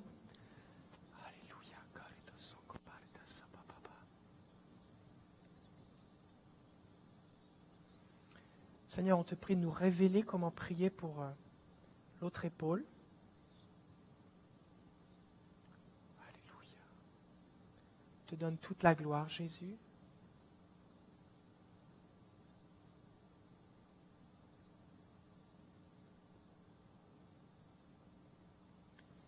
Je crois que quelqu'un a reçu quelque chose. Qui a reçu quelque chose, une image, une pensée? Faites-moi signe. Oui? Le texte qui est venu euh, dans mon esprit, c'est euh, quand Jésus a libéré euh, le démoniaque qui vivait euh, éloigné. dans les tombeaux, oui. Oui. Et les, esprits lui ont demandé pourquoi tu es là, tu nous déranges. Et il les a commandés de sortir et d'aller dans les pourceaux. Et ils sont tous morts. Donc c'est le texte qui est venu en mon esprit. Ok. Déjà, juste pour vous dire pourquoi j'ai dit, je crois qu'il y a quelqu'un qui est en train de recevoir quelque chose. C'est parce que j'ai développé une, une sensibilité, une expérience. J'ai constaté, j'ai constaté, ça c'est- moi, mais je vous le partage parce que ça peut vous arriver aussi, et à ceux qui nous suivent en ligne aussi. J'ai constaté que des fois, quand je suis en train de prier avec quelqu'un, et je l'ai notamment constaté en faisant des sauts de où on demande, les gens posent des questions au Saint-Esprit, Saint-Esprit, qu'est-ce que tu veux me dire Que, à des moments particuliers, c'est comme si, c'est comme si je ressens que la personne est en train de recevoir un téléchargement de Dieu. C'est comme je le ressens. Moi, je, perçois rien, mais, mais j'en ai, j'en ai conclu, puis j'ai fait des tests, et je sais qu'à ce moment-là, c'est comme quelqu'un en train de recevoir quelque chose. Fait que quand, quand je suis avec juste une seule personne, je m'attends à ce que ce soit cette personne-là. Des fois, je lui dis, OK, j'attends. Et en fait, en fait, je ressens comme la présence de Dieu, comme d'un seul coup, plus fort. Puis j'attends. Puis quand ça s'arrête, c'est comme si le téléchargement est fini. Donc ça me permet de ne pas interrompre la personne en posant la question trop tôt. Mais aussi, ça me permet d'avoir la foi de dire, oh, tu as reçu quelque chose. Parce que des fois, les gens n'osent pas partager ce qu'ils ont reçu. D'ailleurs, euh, plusieurs, on est, tous en apprentissage. Hein. Tout à l'heure, je t'ai vu, je sentais que, que tu avais reçu quelque chose. Tu vois Et tu l'as partagé. Et ce que ça fait, c'est que ça encourage la foi. D'accord? Donc des fois, ça va arriver, par exemple, on est à deux personnes en train de prier pour quelqu'un, et vous priez, et vous pouvez avoir cette impression, cette sensation qu'il y a un téléchargement qui a été fait. Mais vous savez, vous, vous n'avez rien reçu, et vous avez juste l'information que quelque chose est arrivé. C'est comme une notification sur votre téléphone, ding, vous avez reçu un message. je ne sais pas ce qu'il y a dedans, mais quelqu'un a reçu un message. Et des fois, vous entendez un téléphone qui vibre ou qui fait ping, bling. Vous savez que quelqu'un a reçu un message. Oh, il a reçu un message. C'est pas ton téléphone. Tu n'as pas accès au message. Tu dis, hey, tu as reçu un message. Et là, vous pouvez dire, hey, est-ce que tu as reçu quelque chose? Et des fois, la personne un peu euh, n'ose pas. Et le Seigneur vous a encouragé, vous, à l'encourager, elle, pour qu'elle ose le partager. Oui, bien sûr, tu peux dire quelque chose aussi. Bon, désolé, je suis en apprentissage. Euh, non, c'est parce que je trouvais qu'il y avait assez de choses qui se disaient tout à l'heure. Quand j'ai prié la première fois, OK, euh, j'ai vu, tu sais, une cote de maille, mais d'immenses mailles, de très grosses mailles espacées, de, de, ton côté gauche, et il y avait des couteaux dans le code de maille qui te, te piquaient à différents endroits. Puis quand je t'ai entendu dire, ben, du côté gauche, euh, c'est surtout là, puis ensuite, ça s'est déplacé, je me suis dit, bon, OK, c'est peut-être de quoi que tu as reçu le Saint-Esprit, Alain. Tu as vu un truc à gauche. Et quand on a reprié, là, je suis en apprentissage, je me dis, à un moment donné, est-ce qu'on se fait des, images oui. soi-même? Là, mais Et cette, je vais cette question, tout le monde se la pose. Oui, oui, puis là, je, je, suis méfiant, mais envers mon, cerveau, mon, cerveau. Mais j'ai vu une épée. Quand tu as dit, c'est déplacé là, je dit, OK, go, euh, j'essaie de rien penser. Une épée. Euh, la cote de maille, tout à l'heure, je l'ai prise, puis je l'ai euh, dans le nom de Jésus, puis tu retombes aussi bien. Même chose pour l'épée, une espèce de sabre que j'ai. Voilà. là, là, on est en train de parler, et juste de mentionner des choses, ça s'intensifie. D'accord? J'ai eu un petit peu la même chose que toi, mais c'était très clair. Esprit de captivité. Puis là, là, ça me disait, là, euh, esprit de captivité, là. Au nom de Jésus, tu sors, tu sors. Pars, va-t'en. Au nom de Jésus. Avec autorité. je vais juste mentionner ici, juste mentionner parce qu'on apprend. Hein. En rapport avec. Non, mais c'est. C'est correct, c'est super. Fait écoutez bien. Alain, tu dis, j'ai vu quelque chose, mais là, c'est rendu complexe. C'est pas juste un couteau, là. Il y a une cote de maille avec plusieurs couteaux, et puis il y a un sabre. C'est quelque chose qui a l'air d'être organisé, structuré, pensé. Il y a un verset dans les psaumes qui dit que la créativité des méchants est comme un abîme. Il y a un autre verset qui dit qu'ils disent l'invention est prête. Il y a une préparation, il y a une planification du côté de l'ennemi pour attaquer le juste. D'accord? Donc ne soyez pas surpris si vous voyez des choses qui semblent être complexes. D'accord? Parce que l'ennemi, là, c'est c'est pas un deux de pique, ok? Il y a une, on va dire qu'il y a comme un art, il y a comme une science de la guerre qui est là, d'accord? Donc, et la raison pour laquelle il fait des choses plus complexes, c'est parce que quand dans le monde spirituel, il faut prier précisément. Fait que si on reste nous juste aux choses, bon, euh, douleur va-t'en, mais que c'est une côte de maille qui est attachée avec des couteaux, qu'on n'enlève pas les couteaux et la côte de maille pour qu'elle parte, elle va rester là. Et là, tu vas dire, qu'est-ce qui se passe? Je suis découragé, je prie, rien se passe, blablabla, on dit, bah, c'est que Dieu voulait pas, ou tant pis. Alors qu'en fait, c'est juste que c'est un niveau de complexité supérieur. De la même façon que si je fais du bricolage, des fois j'ai besoin d'avoir des pinces spéciales. Ça me prend un outil spécial. Des fois j'ai besoin de faire quelque chose avec deux pinces en même temps. Des fois on doit être deux à tenir quelque chose pour pouvoir faire quelque chose. D'accord? C'est juste plus complexe. On ne peut pas tout faire à coup de masse. C'est bon? Ok, donc, aussi en rapport avec ce que tu as dit, le texte avec les pourceaux, tout ça, il y a un texte dans la Bible, dans l'évangile de Luc, il dit qu'il y avait une femme qui était courbée par Satan pendant 18 ans. C'est bon? Et donc Jésus va la libérer, la délier. Il va dire qu'il fallait délier cette femme, libérer cette femme comme on détache un âne qui est attaché pour qu'il aille boire. D'accord? Donc c'est possible, on voit dans la Bible, c'est possible qu'un démon tienne captif quelqu'un physiquement. Maintenant, est-ce que ça veut dire que la personne est possédée? Le mot possédé n'apparaît pas dans la Bible. D'accord? Euh, C'est le mot démonizai, qui veut dire euh, euh, sous l'influence de démon. Donc, il faut faire une différence entre appartenir à un démon et être influencé ou oppressé par un démon. Possédé appartenir à un démon, ce que ça veut dire, c'est que je lui appartiens. Mais je ne peux pas appartenir à un démon et appartenir à Dieu en même temps. C'est pas possible. D'accord?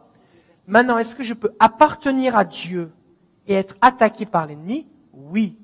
Est-ce que je peux être un soldat canadien et me faire tirer dessus par un soldat euh, syrien, par exemple? Oui. Mais je ne peux pas être un soldat de deux armées en même temps. Ça ne marche pas. D'accord? Euh, Donc on va prier maintenant et on va commander au nom de Jésus à cet esprit d'affliction de partir. OK? Seigneur, on bénit Anne maintenant. Est-ce qu'on peut tendre nos mains vers elle? Seigneur, on bénit Anne et on bénit pour ce que tu fais sur elle. Père, je te remercie parce que si l'ennemi prend la peine de l'attaquer, c'est parce que c'est lui qui a peur d'elle. S'il veut l'immobiliser, c'est parce qu'elle le dérange lorsqu'elle bouge. Alors au nom de Jésus, je commande maintenant à cette captivité de cesser. Au nom de Jésus, que cette douleur parte et ne revienne plus jamais. Nous retournons toutes les œuvres de l'ennemi de là où elles viennent. Et l'esprit de captivité au pied de la croix. Et on déclare ta bénédiction maintenant. On annule le mandat, ce qui avait été planifié pour arrêter et stopper Anne. Et on déclare ta liberté, la fin de cette douleur. Je te prie que tout ce qui lui a été volé en termes de qualité de vie, d'énergie, lui soit rendu maintenant, que ses forces lui soient rendues au nom de Jésus. Ta parole dit que tu nous restaures au double, alors qu'elle soit restaurée au double, Seigneur. Je la bénis en ton nom. Merci, Seigneur, parce que tu viens au secours de ta fille, que tu prends soin d'elle. Au nom de Jésus. Amen. Commencez maintenant. Est-ce que pendant qu'on prie, tu as ressenti quelque chose? Est-ce que c'est pire? Est-ce que ça s'est encore déplacé? Est-ce que ça a diminué? c'est resté pareil, mais je sens, moi, je sens une paix. Tu sens une paix? Moi, je sens une paix, mais, mais la douleur, ici, ça a un petit peu diminué, mais à peine.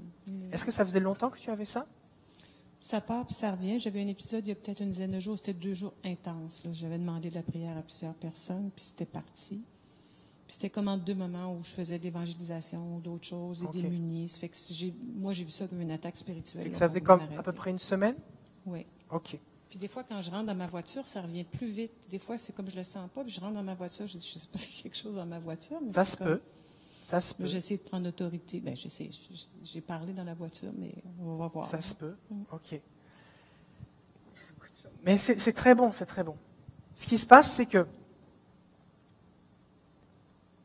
quand on reçoit une attaque spirituelle et que ça fait un moment qu'elle est installée et qu'on l'enlève, ce qu'il faut comprendre, c'est que l'ennemi, son, action, elle est progressive. Si Satan débarque dans ton salon, il y a peu de chances que ce soit Satan lui-même qui vienne s'occuper de toi, mais si un démon débarque dans ton salon ou un sorcier ou quelqu'un et te dit voilà, à partir de telle heure, je vais t'attaquer spirituellement et euh, voici, euh, voici comment il ne faut pas que tu pries parce que sinon ça va tout annuler. eh ben, ça ne marcherait pas. Donc ce que fait l'ennemi, c'est qu'il se dissimule et il se cache. Il dit dans les psaumes que le méchant fait le tour de la ville et murmure en secret et dans le noir des malédictions. Et le psalmiste va dire, Seigneur, tu vois qu'ils vomissent, qu'ils éructent eh bien, ces paroles de malédiction, mais toi, Seigneur, tu m'avertis de ce qu'ils font en secret. J'ai parlé plus de ça la session sur le discernement des esprits que vous pouvez retrouver sur le site de l'école. Euh, mais l'idée, c'est que l'ennemi fait les choses cachées pour pas être reconnu, pour te faire croire que c'est naturel, pour te faire croire que ça s'installe tranquillement. Et tu l'as pas vu venir. Et tu sais plus de quand est-ce que ça a commencé. Et de la même façon que ça se fait tranquillement, au moment où on l'annule, où on le brise, l'effet, vous allez observer deux effets. Premièrement, un effet si ça faisait pas longtemps, vraiment pas longtemps que vous étiez attaqué, ça devrait partir comme assez rapidement. Comme, ça tombe comme dans 50%, puis après, dans l'espace de quelques minutes, une demi-heure, une heure ou quelques heures, il n'y a plus rien. D'accord?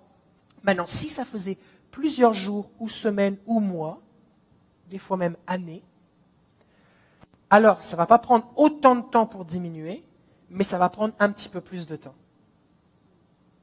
Moi, par exemple, la première, quand j'ai vraiment été, entre guillemets, initié à cette dimension-là, j'avais un problème dans le poignet. J'avais très mal dans le poignet. Sur une période de plusieurs mois, la douleur s'était intensifiée, je ne pouvais même plus m'appuyer sur mon poignet gauche. Et à un moment, j'étais ici en train de prêcher un mercredi soir, et je crois que je citais des versets des actes des apôtres, et je mentionnais des choses miraculeuses que Dieu faisait. Et j'avais le micro casque, donc sans fil, sans, j'avais rien dans les mains, et je faisais des gestes. Et quand je mentionnais un verset de ce que Dieu faisait de surnaturel, ça me faisait plus mal. Juste le fait de, de dire des choses de Dieu, ça réagissait dans mon poignet. Et là, j'ai comme cliqué dans ma tête, je me suis dit, c'est pas normal. C'est pas normal que mentionner quelque chose me fasse mal. C'est pas normal. Et donc, j'ai demandé de la prière. Et donc, ce qui s'est passé, c'est qu'on a prié pour moi et quelqu'un a vu, dans l'équipe qui priait pour moi, qu'on avait comme, c'est comme si ma main, à partir de mon coude, on avait enlevé la peau, il n'y avait plus que les os, et il y avait un gros clou rouillé qui était rentré dans la base de mon poignet. Et puis, euh, donc, on a prié pour l'enlever, on a prié pour la guérison, et j'ai senti une amélioration significative, mais pas complète. Et dans les jours qui ont suivi, la douleur est complètement disparue. D'accord? Donc il faut que vous le sachiez. Pourquoi? Parce que si je prie pour quelque chose de spirituel et que j'ai vraiment brisé la chaîne ou enlevé le couteau, tout ça, mais que la personne a encore mal, il y a deux possibilités. Soit ça va se résorber tranquillement, parce que j'ai fait ce qu'il y avait à faire, il faut juste un temps de convalescence, soit il reste quelque chose d'autre. Donc il faut que je sois ouvert aux deux options. Parce que sinon, je vais chercher quelque chose qui n'existe pas, ou alors, je vais croire qu'il n'y a plus rien, alors qu'il y a encore quelque chose. Donc ce qu'on peut faire, c'est demander au Seigneur, Seigneur, est-ce qu'il y a autre chose? Est-ce que tu veux me montrer autre chose? Si vous recevez quelque chose, priez d'après les directives. Si vous ne recevez rien, eh bien, bénissez la personne, bénissez ce que Dieu est en train de faire, priez pour une restauration, une régénération, une convalescence complète au nom de Jésus. D'accord? Euh,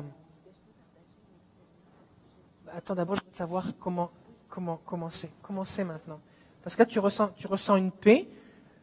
La paix, c'est une bonne chose, d'accord? On ne peut pas créer la paix. Comment c'est maintenant? C'est encore raide? Oui. C'est encore raide? Mm. Ok. Est-ce que tu sens que ça travaille à l'intérieur? Ou est-ce que. Non. Non? Je sens que Ok. c'est- stagnant. On va prier. Mais tu ressens une paix? Oui, moi, je calme. Ok. Et qu'on va prier encore. D'accord? Est-ce que c'est un bon exercice là que Dieu est en train de nous faire faire? Alléluia. Ok. Fait qu'on va prier encore. Approchez-vous, on va prier encore pour elle. Et on veut demander au Seigneur comment prier. Ok? Allez-y, priez.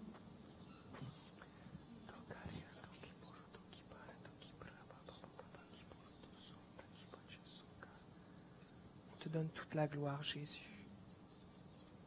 Saint-Esprit, on te prie de nous éclairer comment prier. On dépend de toi et tu veux agir. Merci pour ce que tu as déjà fait. Et on te prie de continuer ton œuvre, de nous montrer comment prier. Merci Jésus.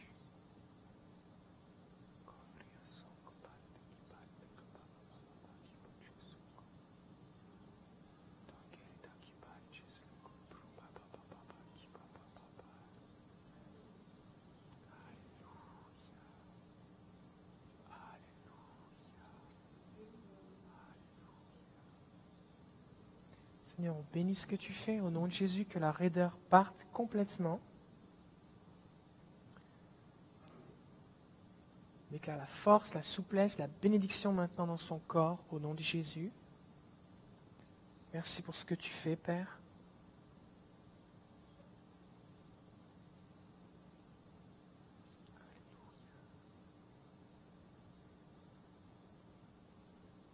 Merci, Seigneur. Est-ce que quelqu'un reçoit quelque chose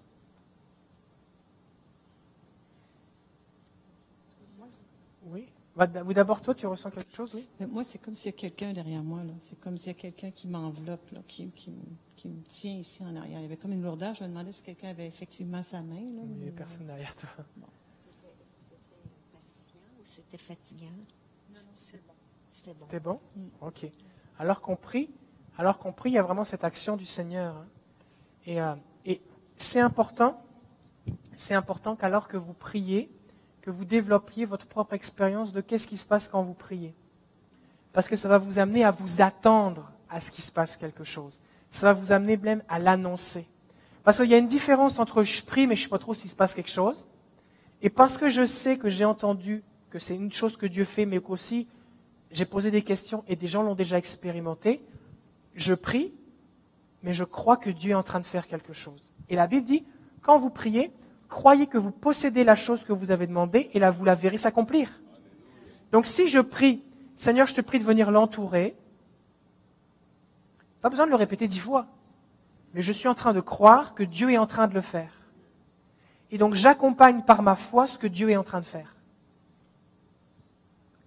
C'est pour ça que des fois, vous pouvez prier sans beaucoup de paroles. Vous pouvez mettre votre main sur quelqu'un et dire Seigneur, merci pour ce baume, comme on a pris tout à l'heure. Merci pour ce baume que tu es en train de mettre. Là, vous vous concentrez sur le Saint-Esprit, puis vous attendez. Et vous laissez le Saint-Esprit faire.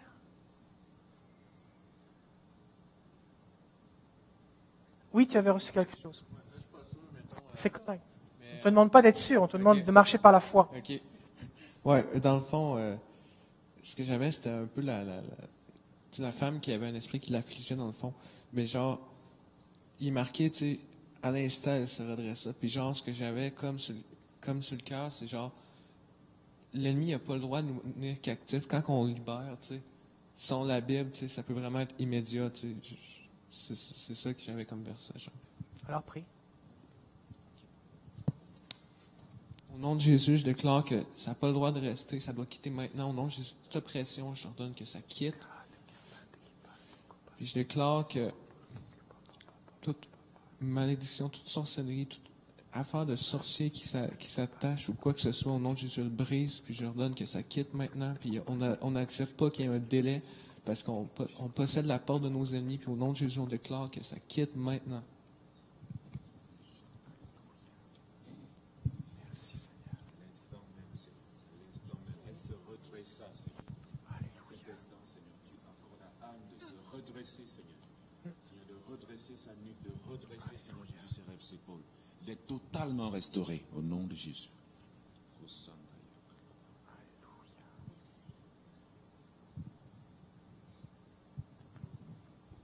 Non plus très sûr.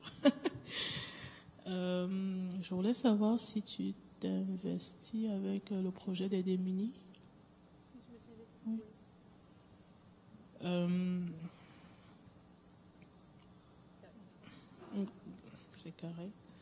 Mais ce que je voyais au-delà de la guérison ponctuelle, c'est ne plus en souffrir plus tard. Et je voyais comme la question qui était dans mon cœur, c'est est-ce que quand tu t'investis ou quand tu rencontres ces personnes, toujours demander à Dieu si tu dois parler à cette personne?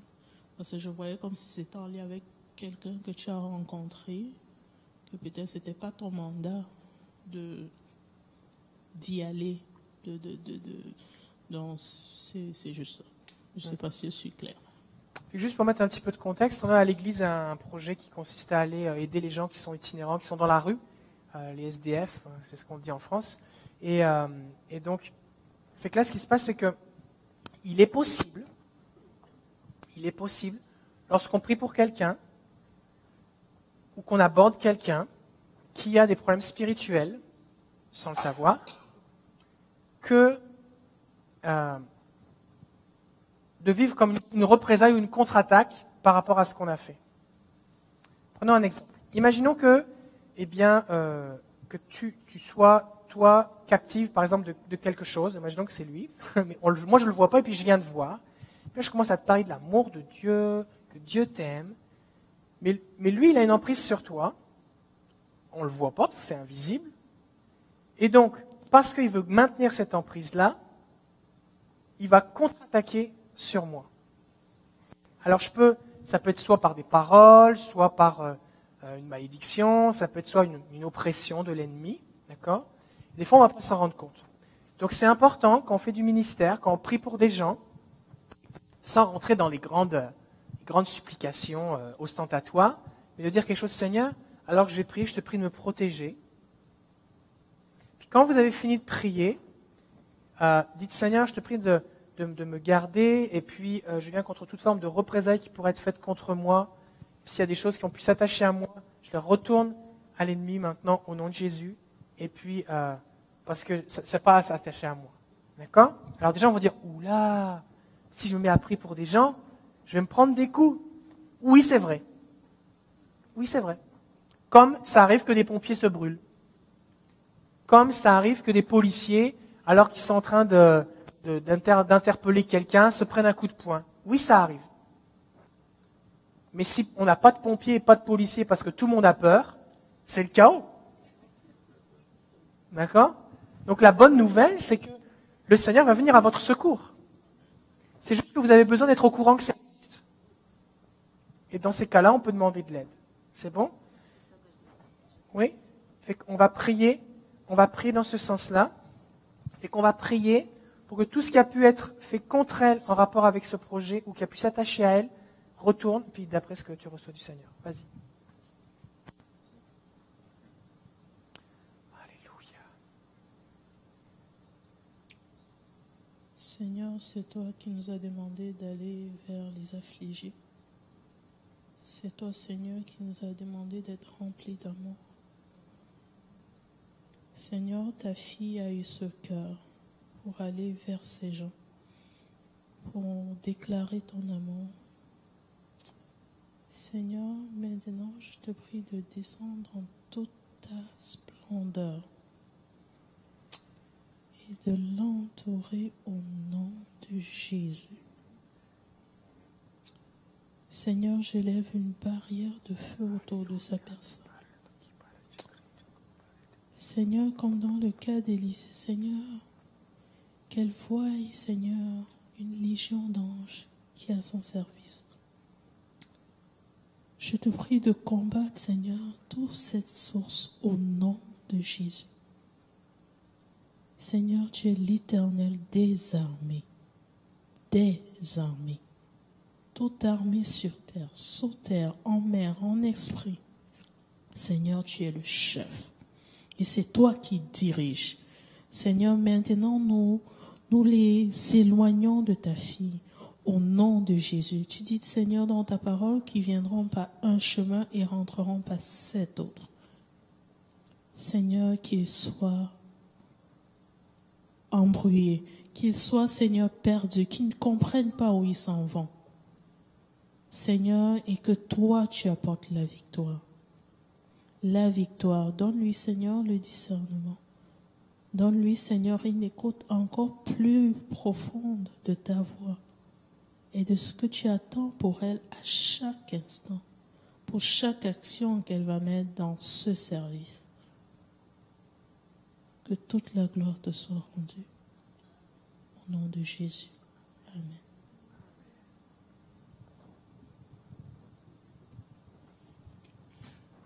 Euh, je vais partager ce que j'ai vu tout à l'heure la première fois qu'on a prié, parce que ça va dans le sens de ce que tu as ressenti, mais j'ai besoin que tu te places comme debout, comme tu étais tout à l'heure, tourné comme ça.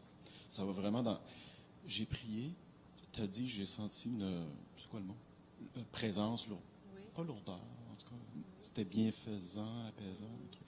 Moi, quand j'ai prié, j'ai vu euh, la croix de Christ euh, penchée vers toi, juste au-dessus, là, pas plus qu'un mètre de toi, avec Christ à côté. Là, j'ai dit, Seigneur, si t'es là, qu'est-ce que ta croix vient faire? Il me dit, Alain, ma, ma croix vous a amené guérison, vous a libéré de vos fardeaux. Et là, j'ai vu, à la fois de Christ et de la croix, sa vie. Il m'a dit, Alain, c'est sa vie, euh, c'est ma vie et ma présence que je déverse sur elle. C'est ce que je déverse, c'est ce que je déverse. Et je le dis parce que ça va dans le sens de ce que tu as ressenti sur ton épaule, parce que je l'ai senti arriver là. OK? Et là, j'ai eu le sentiment que ça va être graduel, Alain. Ça va être graduel. Le, le- le- quoi, je sais pas, le- la libération, la guérison, le- le- le- en tout cas, tu verras bien. Oui, ok. Commencez là? Je suis juste bien, là, mais j'ai- c'est- il y a encore, c'est comme si, je- c'est comme si je sens qu'il faudrait comme tirer sur, comme tirer sur une couverte de ce côté-là, là, comme pour juste. euh, ici, je sens presque plus. Je sais pas si c'était un couteau. là, mais. C'est comme s'il resterait juste un morceau. Oui. On le prend, on le tire. Suis le micro. J'avais un, un massage. Pourquoi un massage? Comme si Dieu voulait te masser là ou dans les jours qui viennent, mais que tu allais avoir une restauration, un massage euh, de Jésus, de Dieu. Alors, pris dans ce sens-là, Alléluia, Seigneur. pour le relâcher. Seigneur, je te bénis, Seigneur, pour ma sœur, éternel Dieu, que tu puisses euh, l'entourer, éternel, de, de la prendre dans tes bras d'amour, Seigneur, de, de lui faire ce massage, Seigneur, qu'elle a besoin de toi, Seigneur. Qu'elle puisse être restaurée, Seigneur, dans toutes ses membres, éternel Dieu. de- que tout ce qui n'est pas de toi, Seigneur, puisse être restauré, massé, Seigneur, pour que ça disparaisse au nom de Jésus de Nazareth. Alléluia, Seigneur. Tu mets des anges autour d'elle, Seigneur, pour un massage complet et total, Seigneur. Qu'elle soit restaurée, Seigneur, maintenant ou dans les jours qui viennent, Seigneur. Que tu puisses prendre ta main sur elle, Seigneur Jésus.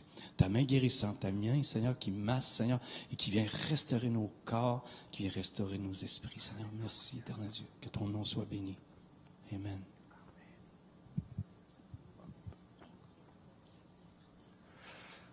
Alléluia. Ok. Alors, juste, juste pour... euh, il y a plein de gens là qui sont en ligne, là. Euh, il y a quelqu'un qui a écrit... euh, Chantal qui dit euh, qu'elle avait reçu un écrasement au niveau des vertèbres et puis elle a ressenti des picotements et une chaleur après avoir pris dans le long de sa colonne. Et après ça, elle dit, je ne sens plus rien maintenant, je peux mieux bouger dans le dos, c'est glorieux. Elle dit, pourvu que ça reste. la Bible dit que la bénédiction de Dieu n'est suivie d'aucun chagrin. Quand Dieu donne, il donne. Tout don parfait, toute grâce excellente viennent du Père des Lumières. Donc on déclare que c'est pour toujours, au nom de Jésus. Elle dit, alors quelqu'un disait, euh, ça fait combien de temps que vous avez mal? Ça faisait deux mois et demi. C'est très mal. Et puis malgré la kiné, eh bien, la kiné c'est la physio ici, eh bien, euh, ça n'allait pas mieux. Alors, euh, je ne me sens plus contracté du tout. Merci Seigneur, merci à vous. Et puis, ok, ok.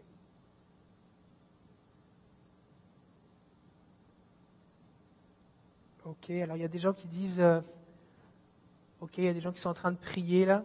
Alors bonjour Josué, bonjour tous ceux qui nous suivent. Fait que il y a des gens, nous on est en train de prier, puis les gens en chat, en internet prient les uns pour les autres.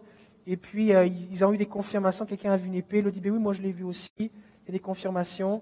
Et puis on est béni. Fait qu'on vous bénit. Alléluia. Fait que waouh, c'est bon? Tu es vivant. Ok. J'ai pas du tout apporté ce que je voulais apporter ce matin. C'est pas grave.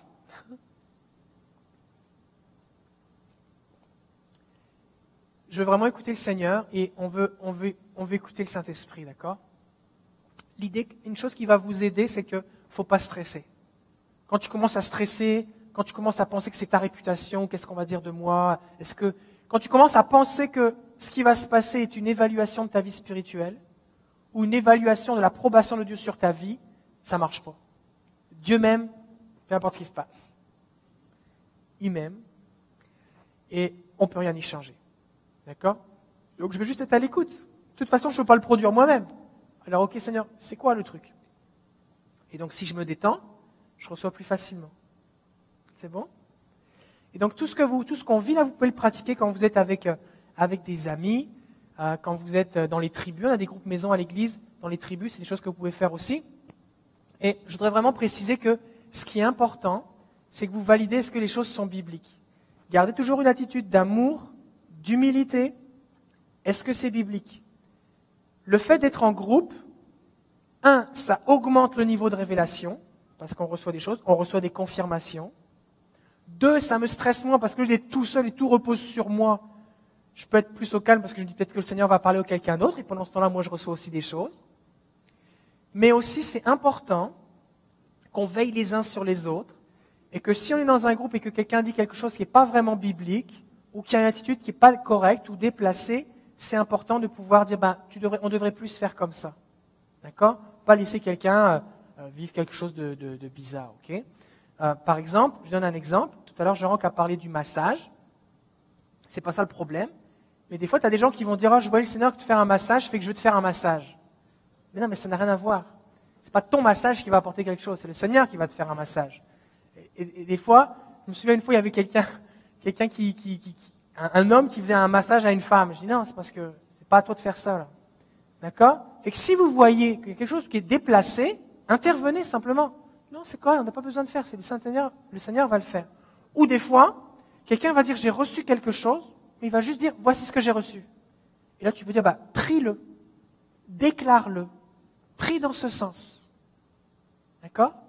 Et ce qui va se passer, c'est que l'expérience des uns et des autres va, va se compléter et on va grandir ensemble. Parce qu'en fait, Paul va dire Soyez mes imitateurs comme je le suis moi-même de Christ. Il y a des choses qui sont doctrinales, c'est de la connaissance doctrinale, des faits bibliques, des promesses de Dieu, euh, des paroles de Dieu qui sont dans la Bible. Mais après, concernant la pratique, on a besoin d'avoir des modèles. Par exemple, la Bible dit Marie, aimez vos femmes, comme Christ a aimé l'Église et s'est offert pour elle en sacrifice. Ok, tu peux connaître le verset, tu peux connaître la référence, tu peux avoir étudié les mots grecs, tu peux l'avoir lu dans plusieurs versions. Mais ça ressemble à quoi Un homme de Dieu qui aime sa femme comme Christ a aimé l'Église? Ben, quand je lis le texte, je ne sais pas trop à quoi ça ressemble. Maintenant, si je suis au contact d'autres hommes de Dieu, et les hommes ici, vous êtes des hommes de Dieu, et les femmes ici, vous êtes des femmes de Dieu, et que je vois comment il aime sa femme, ça va m'inspirer pour comment aimer la mienne. Et ce qui manque dans l'Église, surtout dans l'Église occidentale où les gens sont individualistes, chacun est dans son coin, c'est cet aspect de modèle, on va dire de mentorat. Regarde comment je fais et fais pareil. Il y a des tas de choses que vous avez appris que personne ne vous a appris. Vous avez juste fait comme votre mère ou fait comme votre père. D'ailleurs, le langage. Le langage. Moi, j'ai ma fille qui est en train d'apprendre à marcher, là, bien, elle est vraiment sur le bas. Bientôt, elle va se mettre à parler. On ne lui donne pas des cours de grammaire. On ne lui donne pas des cours de conjugaison. On ne lui donne pas des cours de vocabulaire. Qu'est-ce qui se passe? Elle nous entend. Et à force de lui dire Est-ce que tu veux boire? Est-ce que tu veux boire? Est-ce que tu as soif? Est-ce que tu veux boire? Au bout d'un moment, elle tend les bras quand on lui donne le verre, parce qu'elle comprend qu'on lui pose une question, c'est pour toi, est-ce que tu as faim? Viens voir papa. Elle s'approche, alors qu'au début, quand ils sont tous naissants, elle peut-être dit viens voir papa, ils ne comprennent pas. Que ce n'est pas un cours qu'on lui donne. Mais si tu mets un enfant tout seul dans une pièce et que de temps en temps tu une petite trappe et que tu lui donnes à manger, il ne va pas se développer. Il a besoin d'être en contact, d'avoir des exemples, des modèles. Et dans la vie spirituelle, c'est pareil. Si vous voulez grandir spirituellement, vous avez besoin d'être en relation, pas juste avec une personne, avec plusieurs personnes, pour bénéficier des différentes onctions, des différents dons, des différentes expériences, des différentes maturités, des différentes connaissances, des différents témoignages. Et là, vous allez grandir. La vie chrétienne, ça se vit en groupe. Pas un groupe où on, parle de dire est-ce que le pasteur avait une belle cravate dimanche au restaurant? C'est pas ça là. Il faut qu'on vive les choses ensemble. Parce que le temps qu'on a pris là, par exemple, à prier pour Anne, vous avez appris énormément de choses.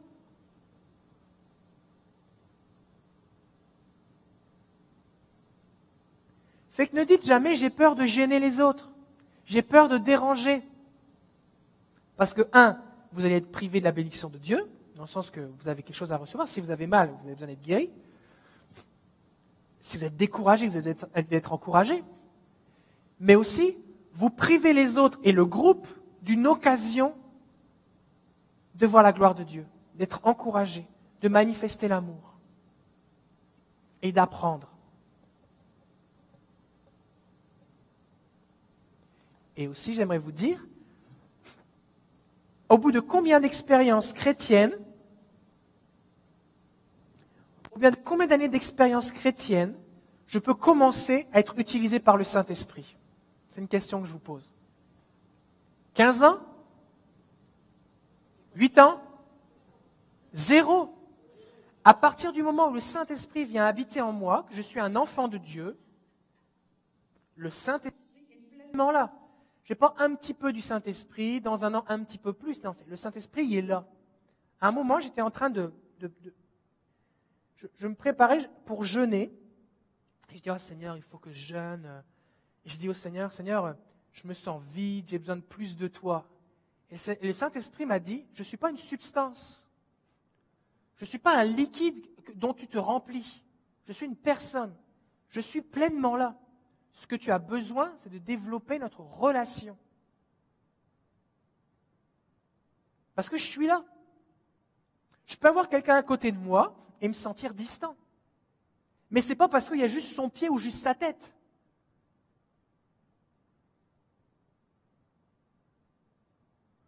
C'est juste parce qu'on n'est pas connecté. On a besoin de bâtir cette relation. Le Saint-Esprit, il est pleinement là. Donc, ne croyez pas le mensonge de Satan qui amène les chrétiens à dire Oh ben lui, c'est un jeune chrétien, il ne faut pas trop lui en parler, ça va lui faire peur. Ou il n'est pas prêt. On est tous prêts. Parce que Satan, lui, il n'attend pas pour attaquer les chrétiens qui soient prêts. Il n'y a pas un moment, Dieu qui vient de voir avec un certificat dit voilà, maintenant tu es prêt, prépare. À partir de maintenant, l'ennemi va commencer à t'attaquer. Non. Il commence tout de suite. Il commence même avant que tu aies cru. La Bible dit dans la parabole du semeur que quand le semeur sème la graine et qu'elle tombe sur le chemin, alors les oiseaux viennent et la mangent. Et Jésus va dire, c'est l'ennemi qui vole la parole de Dieu de peur que la personne ne croit et qu'elle porte du fruit. Donc si on, empêche les gens on prive les gens qui sont débutants dans la foi de vivre les vraies choses spirituelles, ben, ils vont dire, voilà, je ne comprends pas, moi je vais faire comme les autres, je viens à l'église, je lève les mains, je chante les mêmes cantiques, j'essaie de lire ma Bible, mais je vis des troubles. Pourtant, c'est trop difficile. Pourquoi? Pourquoi je vis du découragement, de l'accablement, des tentations, des pensées, des rêves, des cauchemars, toutes sortes de trucs? Qu'est-ce qui m'arrive? Lui, ça a l'air facile, moi, qu'est-ce qui m'arrive? Ça ne doit pas être pour moi. Puis les gens lâchent la foi. Alors que si on leur dit, bah, écoute, oui, tu as plein de trucs à apprendre avec Jésus. Oui, le Seigneur va travailler ton caractère. Oui, il va te configurer à la ressemblance de Jésus. Oui, tu vas développer la sanctification. Oui, tu vas développer eh bien, une vie de disciple et d'obéissance. Tu vas apprendre l'obéissance. Oui, tout ça, c'est vrai. Mais le Saint-Esprit, il est 100% avec toi maintenant. Et que tu peux maintenant, aujourd'hui, apprendre à collaborer avec lui pour établir le royaume de Dieu. Avant de terminer, avant de terminer, j'aimerais vous présenter quelques livres euh, qui concernent un petit peu euh, en fait, le sujet qu'on a, que je voulais aborder aujourd'hui, qui, concerne la foi. Mais déjà concernant, euh, si on peut faire un zoom à la caméra, concernant un petit peu toute la dimension des attaques spirituelles, il y a un excellent livre ici de Eddie et Alice Smith. Ça s'appelle Nettoyage spirituel de votre maison. Je l'ai lu, c'est vraiment bon. Non, mon téléphone, il zoome pas. C'est là-bas qu'on peut zoomer. On a deux caméras. Euh, donc, c'est aux éditions Ménor. Aux éditions Ménor. Et euh, des fois, ce qui se passe, c'est que les gens introduisent chez eux des choses. Et il peut y avoir des esprits attachés à des objets ou à certaines pratiques. des fois, les gens ne comprennent pas pourquoi il se passe des choses. Des fois, c'est des choses qui ont été faites dans leur maison précédemment, et par les, locataires précédents, les propriétaires précédents. Et le Seigneur va révéler les choses. Et parce que l'ennemi va perdre son, son droit d'accès, mais s'il avait un droit à cause de certains objets ou certaines choses qui étaient là, présentes chez nous, ben, il peut nous les révéler, et puis on peut en être libéré. D'accord? Donc je ne suis pas en train de dire que si vous souffrez, c'est que forcément il y a un problème chez vous. Maintenant, c'est possible. C'est possible que ce soit un objet, c'est possible que ce soit relié à des pratiques, c'est possible que ce soit relié à des choses qui datent de vraiment longtemps, et le Seigneur peut vous les révéler. Et simplement, on prie euh, dans ce sens-là. Juste pour vous donner un, exemple, euh, un moment, j'avais mal au dos, mais vraiment mal. C'était horrible, j'avais super mal dans les lombaires, et j'avais mal toute la nuit. Dès que j'arrivais dans mon lit, j'avais mal, mal, mal. Peu importe la position que je prenais, j'avais toujours mal. Et euh, ça a duré pendant des mois. La journée, ça allait, mais la nuit, c'était terrible. Puis un jour, je demande de la prière, et une équipe prie pour moi, et un membre de l'équipe dit, ben là, je vois, euh, je vois une araignée en dessous de ton lit chez toi. La personne a une vision, elle voit, il y avait mon lit, et en dessous, il y avait une araignée qui me piquait pendant que je dormais. Alors elle dit, euh, je vais prier pour que... C'était quelque chose de spirituel, d'accord? C'est pas parce qu'on n'avait pas fait le ménage, c'était spirituel. Alors peut-être quelqu'un va dire c'est bizarre une araignée. On voit dans l'Apocalypse qu'à un moment, eh bien, il y a des démons qui avaient la forme de grenouilles qui sont sortis de la bouche du faux prophète et de l'antichrist, tout ça, et puis qui sont allés séduire les nations. Donc c'est possible qu'un démon ressemble à un animal. D'accord?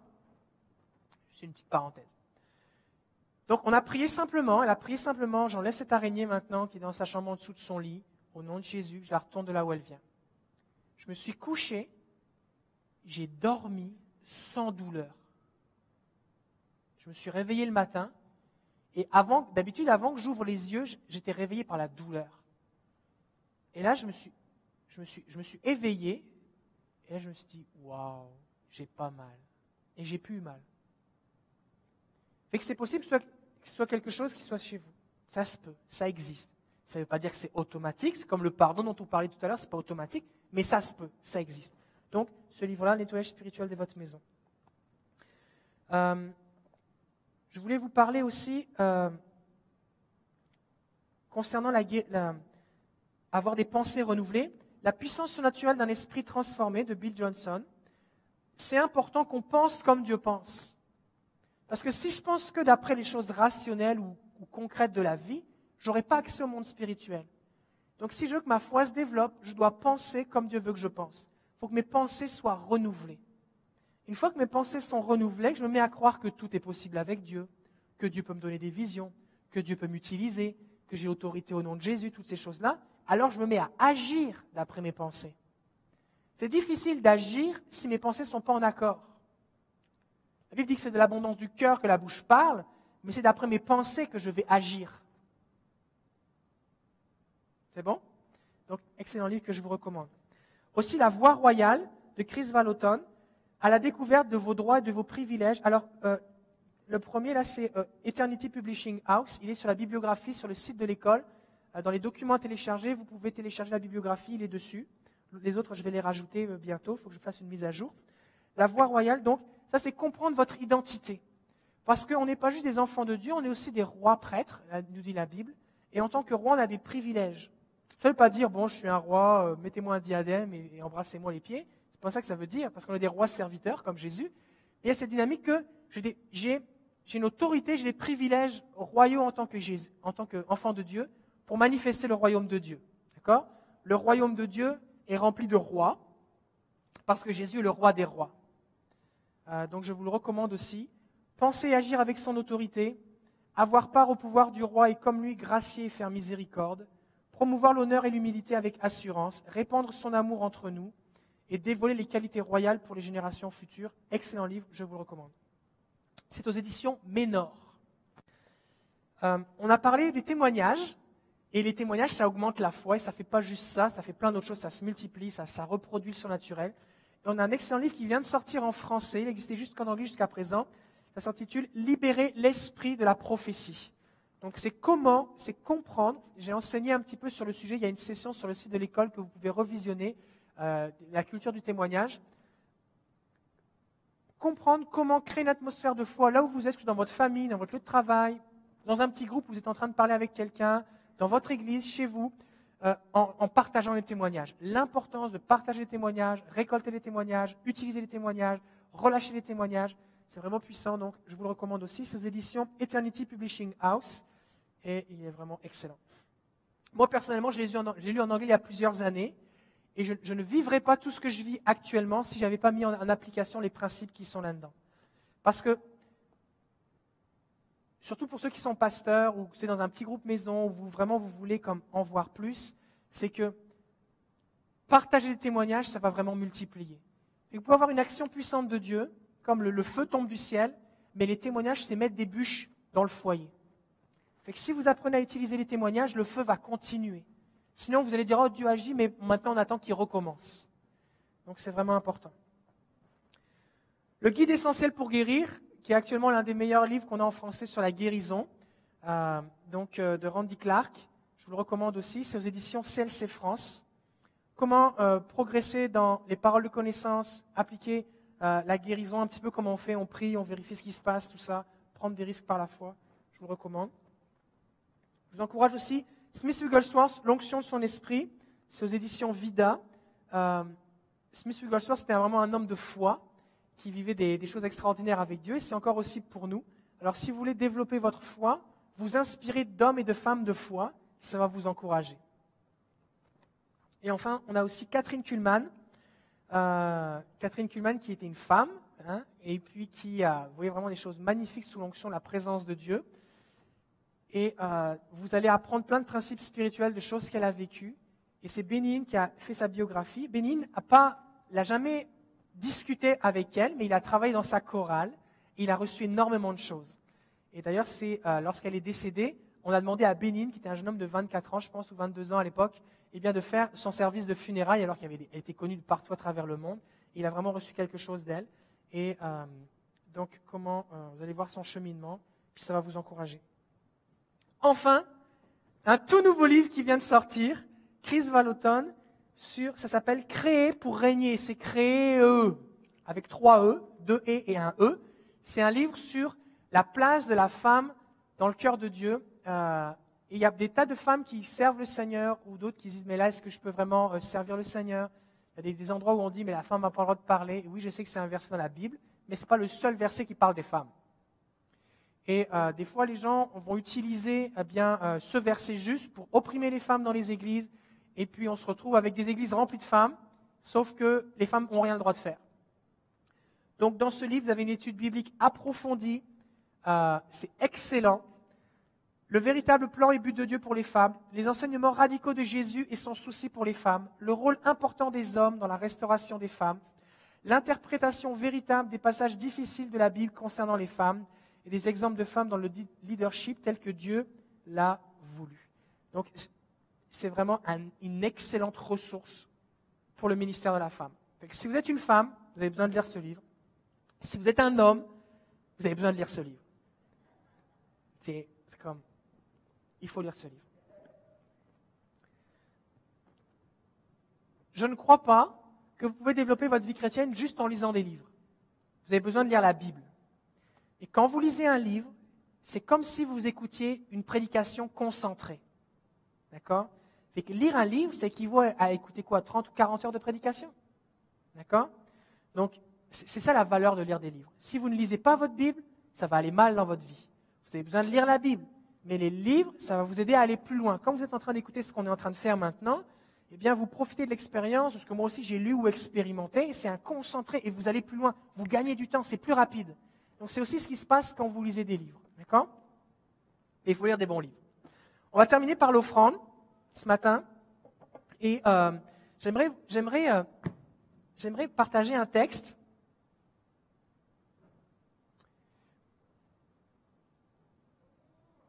C'est Luc chapitre 16, versets 10 à 11.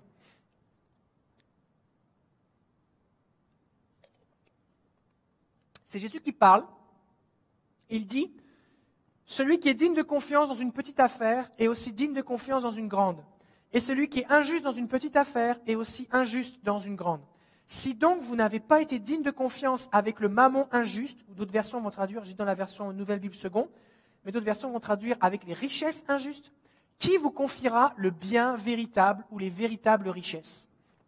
Le contexte de ce verset, c'est cette parabole où Jésus dit qu'il y avait un homme qui avait été euh, trouvé comme un mauvais intendant, alors son maître va lui dire, t'es viré. Et juste avant qu'il parte, il va parler à tous ceux qui devaient de l'argent à son maître et il va leur faire modifier le montant de leur dette pour espérer obtenir faveur auprès d'eux et pouvoir aller manger chez eux ou trouver un emploi chez eux lorsqu'il sera licencié.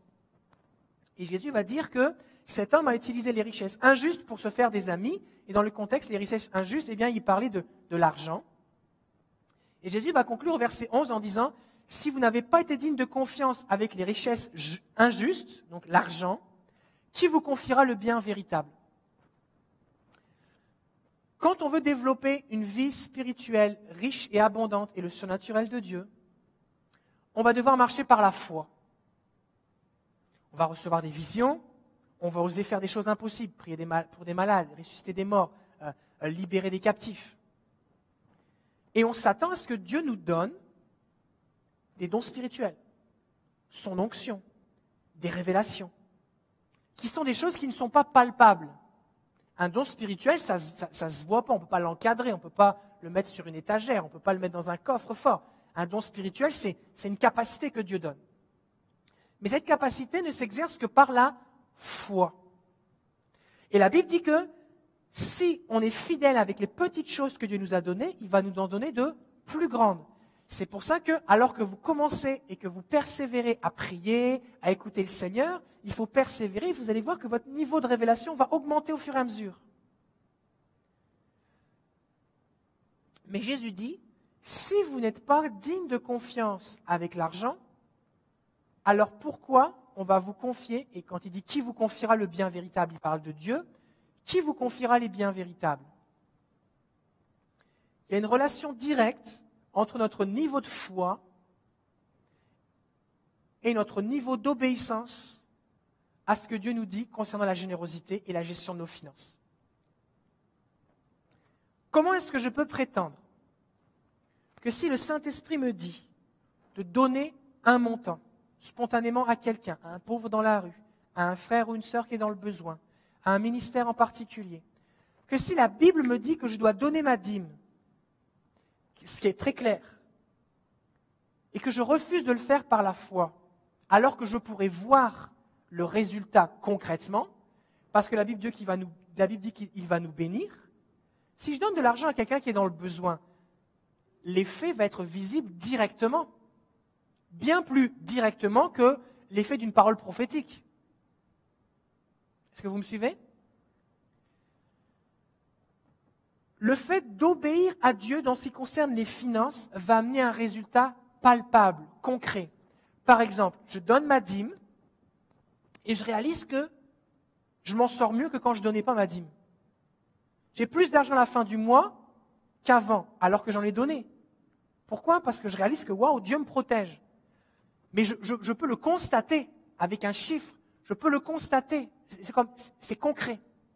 Ce que ça va faire, c'est que si j'exerce ma foi au niveau de la finance, oh, de la grande finance, je pas de exerce ta foi en jouant en bourse, c'est pas ça que je dis, mais si j'exerce ma foi en obéissant à la Bible et au Saint-Esprit pour les finances,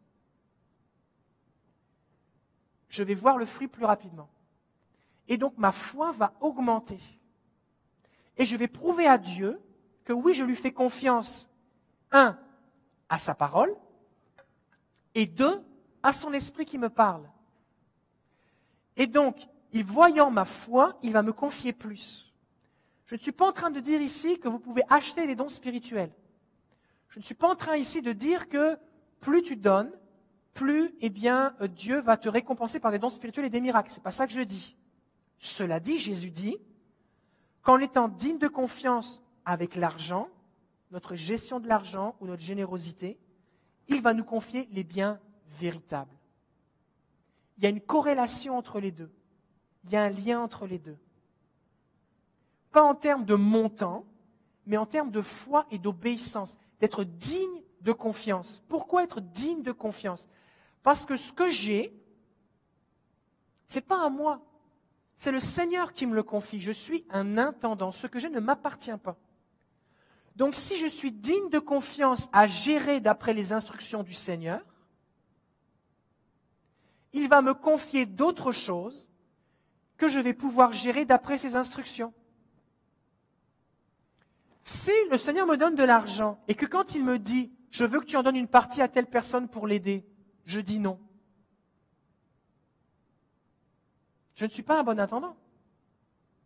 Si le Seigneur me donne un don de guérison et que le Seigneur me dit va prier pour telle personne et que je dis j'ai pas le temps, ça me tente pas ou je mange, je sais pas trop, je ne serai pas plus un bon intendant mais je prouve d'abord avec mes finances que je suis un bon intendant pour recevoir des richesses véritables spirituelles.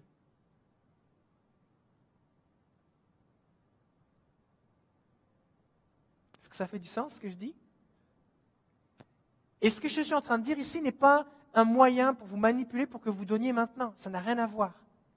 C'est valable où que vous soyez, dans votre église locale, que vous donniez pour la mission, que vous donniez pour soutenir un ministère, que vous donniez votre dîme et plus pour soutenir votre église, que vous donniez à quelqu'un de votre famille qui est dans le besoin, parce que la Bible dit qu'on doit prendre soin des proches, sinon on est pire qu'un infidèle. Que ce soit une semence que Dieu vous dit de semer, que ce soit pour l'évangélisation du monde, la traduction de la Bible, peu importe. L'idée, c'est que, Seigneur, je veux te prouver avec mes finances, avec ma foi sur ce que dit ta parole et ce que tu me dis concernant les finances, que je suis un bon intendant. Que si tu me donnes des consignes, je vais suivre les consignes. Parce que je réalise que ça vient de toi. Et je veux te prouver que je suis digne de confiance. Alors donne-moi les richesses véritables. C'est bon? Alors si vous êtes en ligne, vous nous suivez, vous pouvez donner en haut de notre chaîne YouTube, vous pouvez donner par PayPal, on a un bouton. Si vous nous suivez sur Facebook, vous pouvez aller sur le site de l'école www.écolemsf.com. Il y a un bouton qui vous permettra de donner aussi de façon sécuritaire. Merci pour tous ceux qui donnent à travers la francophonie, ça nous aide beaucoup. Et on envisage bientôt de faire un campus en France, sur place, pour pouvoir aussi euh, bénir, bénir les Français. Alors, j'aimerais qu'on fasse une prière de déclaration maintenant. On va afficher la déclaration d'offrande numéro 4, si on est capable.